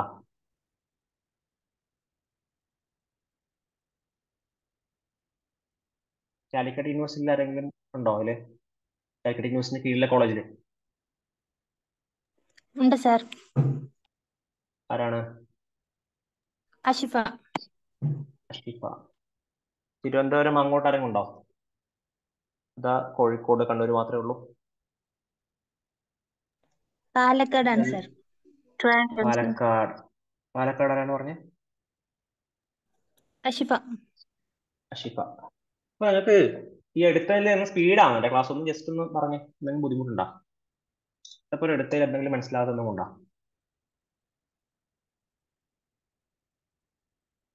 ഇല്ല സർ ക്ലിയർ ആണ്. ക്ലിയർ ആണ് സ്പീഡ് ആവുന്നുണ്ടോ ക്ലാസ് കുറച്ച്. കുറച്ച് സ്പീഡ് ആവുന്നുണ്ട് അല്ലേ? തുറക്കാം വേറെ ആർക്കെങ്കിലും പറയാൻ ബുദ്ധിമുട്ടുണ്ടോ? ഇല്ല സർ ഓക്കെ അപ്പൊ നിങ്ങൾ എന്ത് ചെയ്യാം? അടുത്ത ക്ലാസ് ഇനി തിങ്കളാഴ്ച ഉണ്ടാവും. പിന്നെ എന്റെ ക്ലാസ് ഇനി വ്യാഴാഴ്ച ഇനി വരുന്നുണ്ടാവാം. അപ്പൊ അന്നേരം അടുത്ത ക്ലാസ്സിലേക്ക് ഈ പറഞ്ഞ കാര്യങ്ങൾ ഈ പി പി ഡി ഷെയർ ചെയ്യും. അത് വായിച്ചു നോക്കുക. ഇതുമായിട്ട് ബന്ധപ്പെട്ട ക്വസ്റ്റ്യനുകൾ മാക്സിമം കളക്ട് ചെയ്ത് ചെയ്യുക ഒരു ടെലഗ്രാം ഗ്രൂപ്പ് ഫോം ചെയ്താലോ എന്നുണ്ട്. കാരണം എല്ലാ ദിവസവും ഒരു ക്വിസ് കണ്ടക്ട് ചെയ്യാൻ അതിൽ ക്വിസ് ബോർഡ് ഉണ്ടല്ലോ. അപ്പൊ അത് വെച്ചിട്ട് അങ്ങനെ എല്ലാ ദിവസവും ക്വിസ് ഈ ഇപ്പൊ എടുത്ത ഭാഗത്തിന്റെ ക്വസ്റ്റ്യൻസുകൾ കളക്ട് ചെയ്ത് അഞ്ച് ക്വസ്റ്റ്യൻസ് ഒന്നോ രണ്ടോ ക്വസ്റ്റ്യൻസ് ഡെയിലി പോസ്റ്റ് ചെയ്യുന്ന രീതിയിലാക്കാനുള്ള പ്ലാൻ ഉണ്ട്. അപ്പൊ ആ രീതിയിലും പ്രൊസീഡ് ചെയ്യുന്നതായിരിക്കും. നിങ്ങൾ വായിച്ചു നോക്കുക. ക്വസ്റ്റ്യനുകൾ എന്ത് ചെയ്യുക? ടെലഗ്രാം ഗ്രൂപ്പ് ഫോം ചെയ്യുന്നുണ്ടെങ്കിൽ അതിലേക്ക് ഇടുക. എന്നിട്ട് അത് അടുത്ത ക്ലാസ്സിലാകുമ്പോഴത്തേക്ക് അതെല്ലാം കളക്ട് ചെയ്തിട്ട് ഡൗട്ട് ചെയ്യുന്ന സെഷൻ പോലെ ആദ്യത്തെ ഒരു അരമണിക്കൂറിൽ പതിനഞ്ച് മിനിറ്റോ നമുക്ക് അതിൽ ഡിസ്കഷൻ ചെയ്യാം. ആ ക്വസ്റ്റ്യനുകളുടെ പിന്നെ എന്തായിരിക്കും? നിങ്ങൾക്ക് വേണ്ട സംശയങ്ങളും എല്ലാം അതിലേക്ക് പോസ്റ്റ് ചെയ്യാം. ടെലഗ്രാം ഗ്രൂപ്പ് ഫോം ചെയ്യുന്നെങ്കിൽ അതിൽ അതിൽ പോസ്റ്റ് ചെയ്യാം. അല്ലെങ്കിൽ എന്ത് ചെയ്യാം നമ്മുടെ വാട്സ്ആപ്പ് ഗ്രൂപ്പ് ഉണ്ടല്ലോ. അതിൽ പോസ്റ്റ് ചെയ്താലും മതി. ഗ്രൂപ്പ് ഫോം ചെയ്യുന്നുണ്ടെങ്കിൽ അതിന്റെ ടെലഗ്രാം ലിങ്ക് ഗ്രൂപ്പിൽ ഷെയർ ചെയ്യുന്നതായിരിക്കും കേട്ടോ. അപ്പോൾ ഓക്കെ ഒന്നുമില്ലെങ്കിൽ നിങ്ങൾക്ക് പോവാം. Bye thank you sir thank you sir okay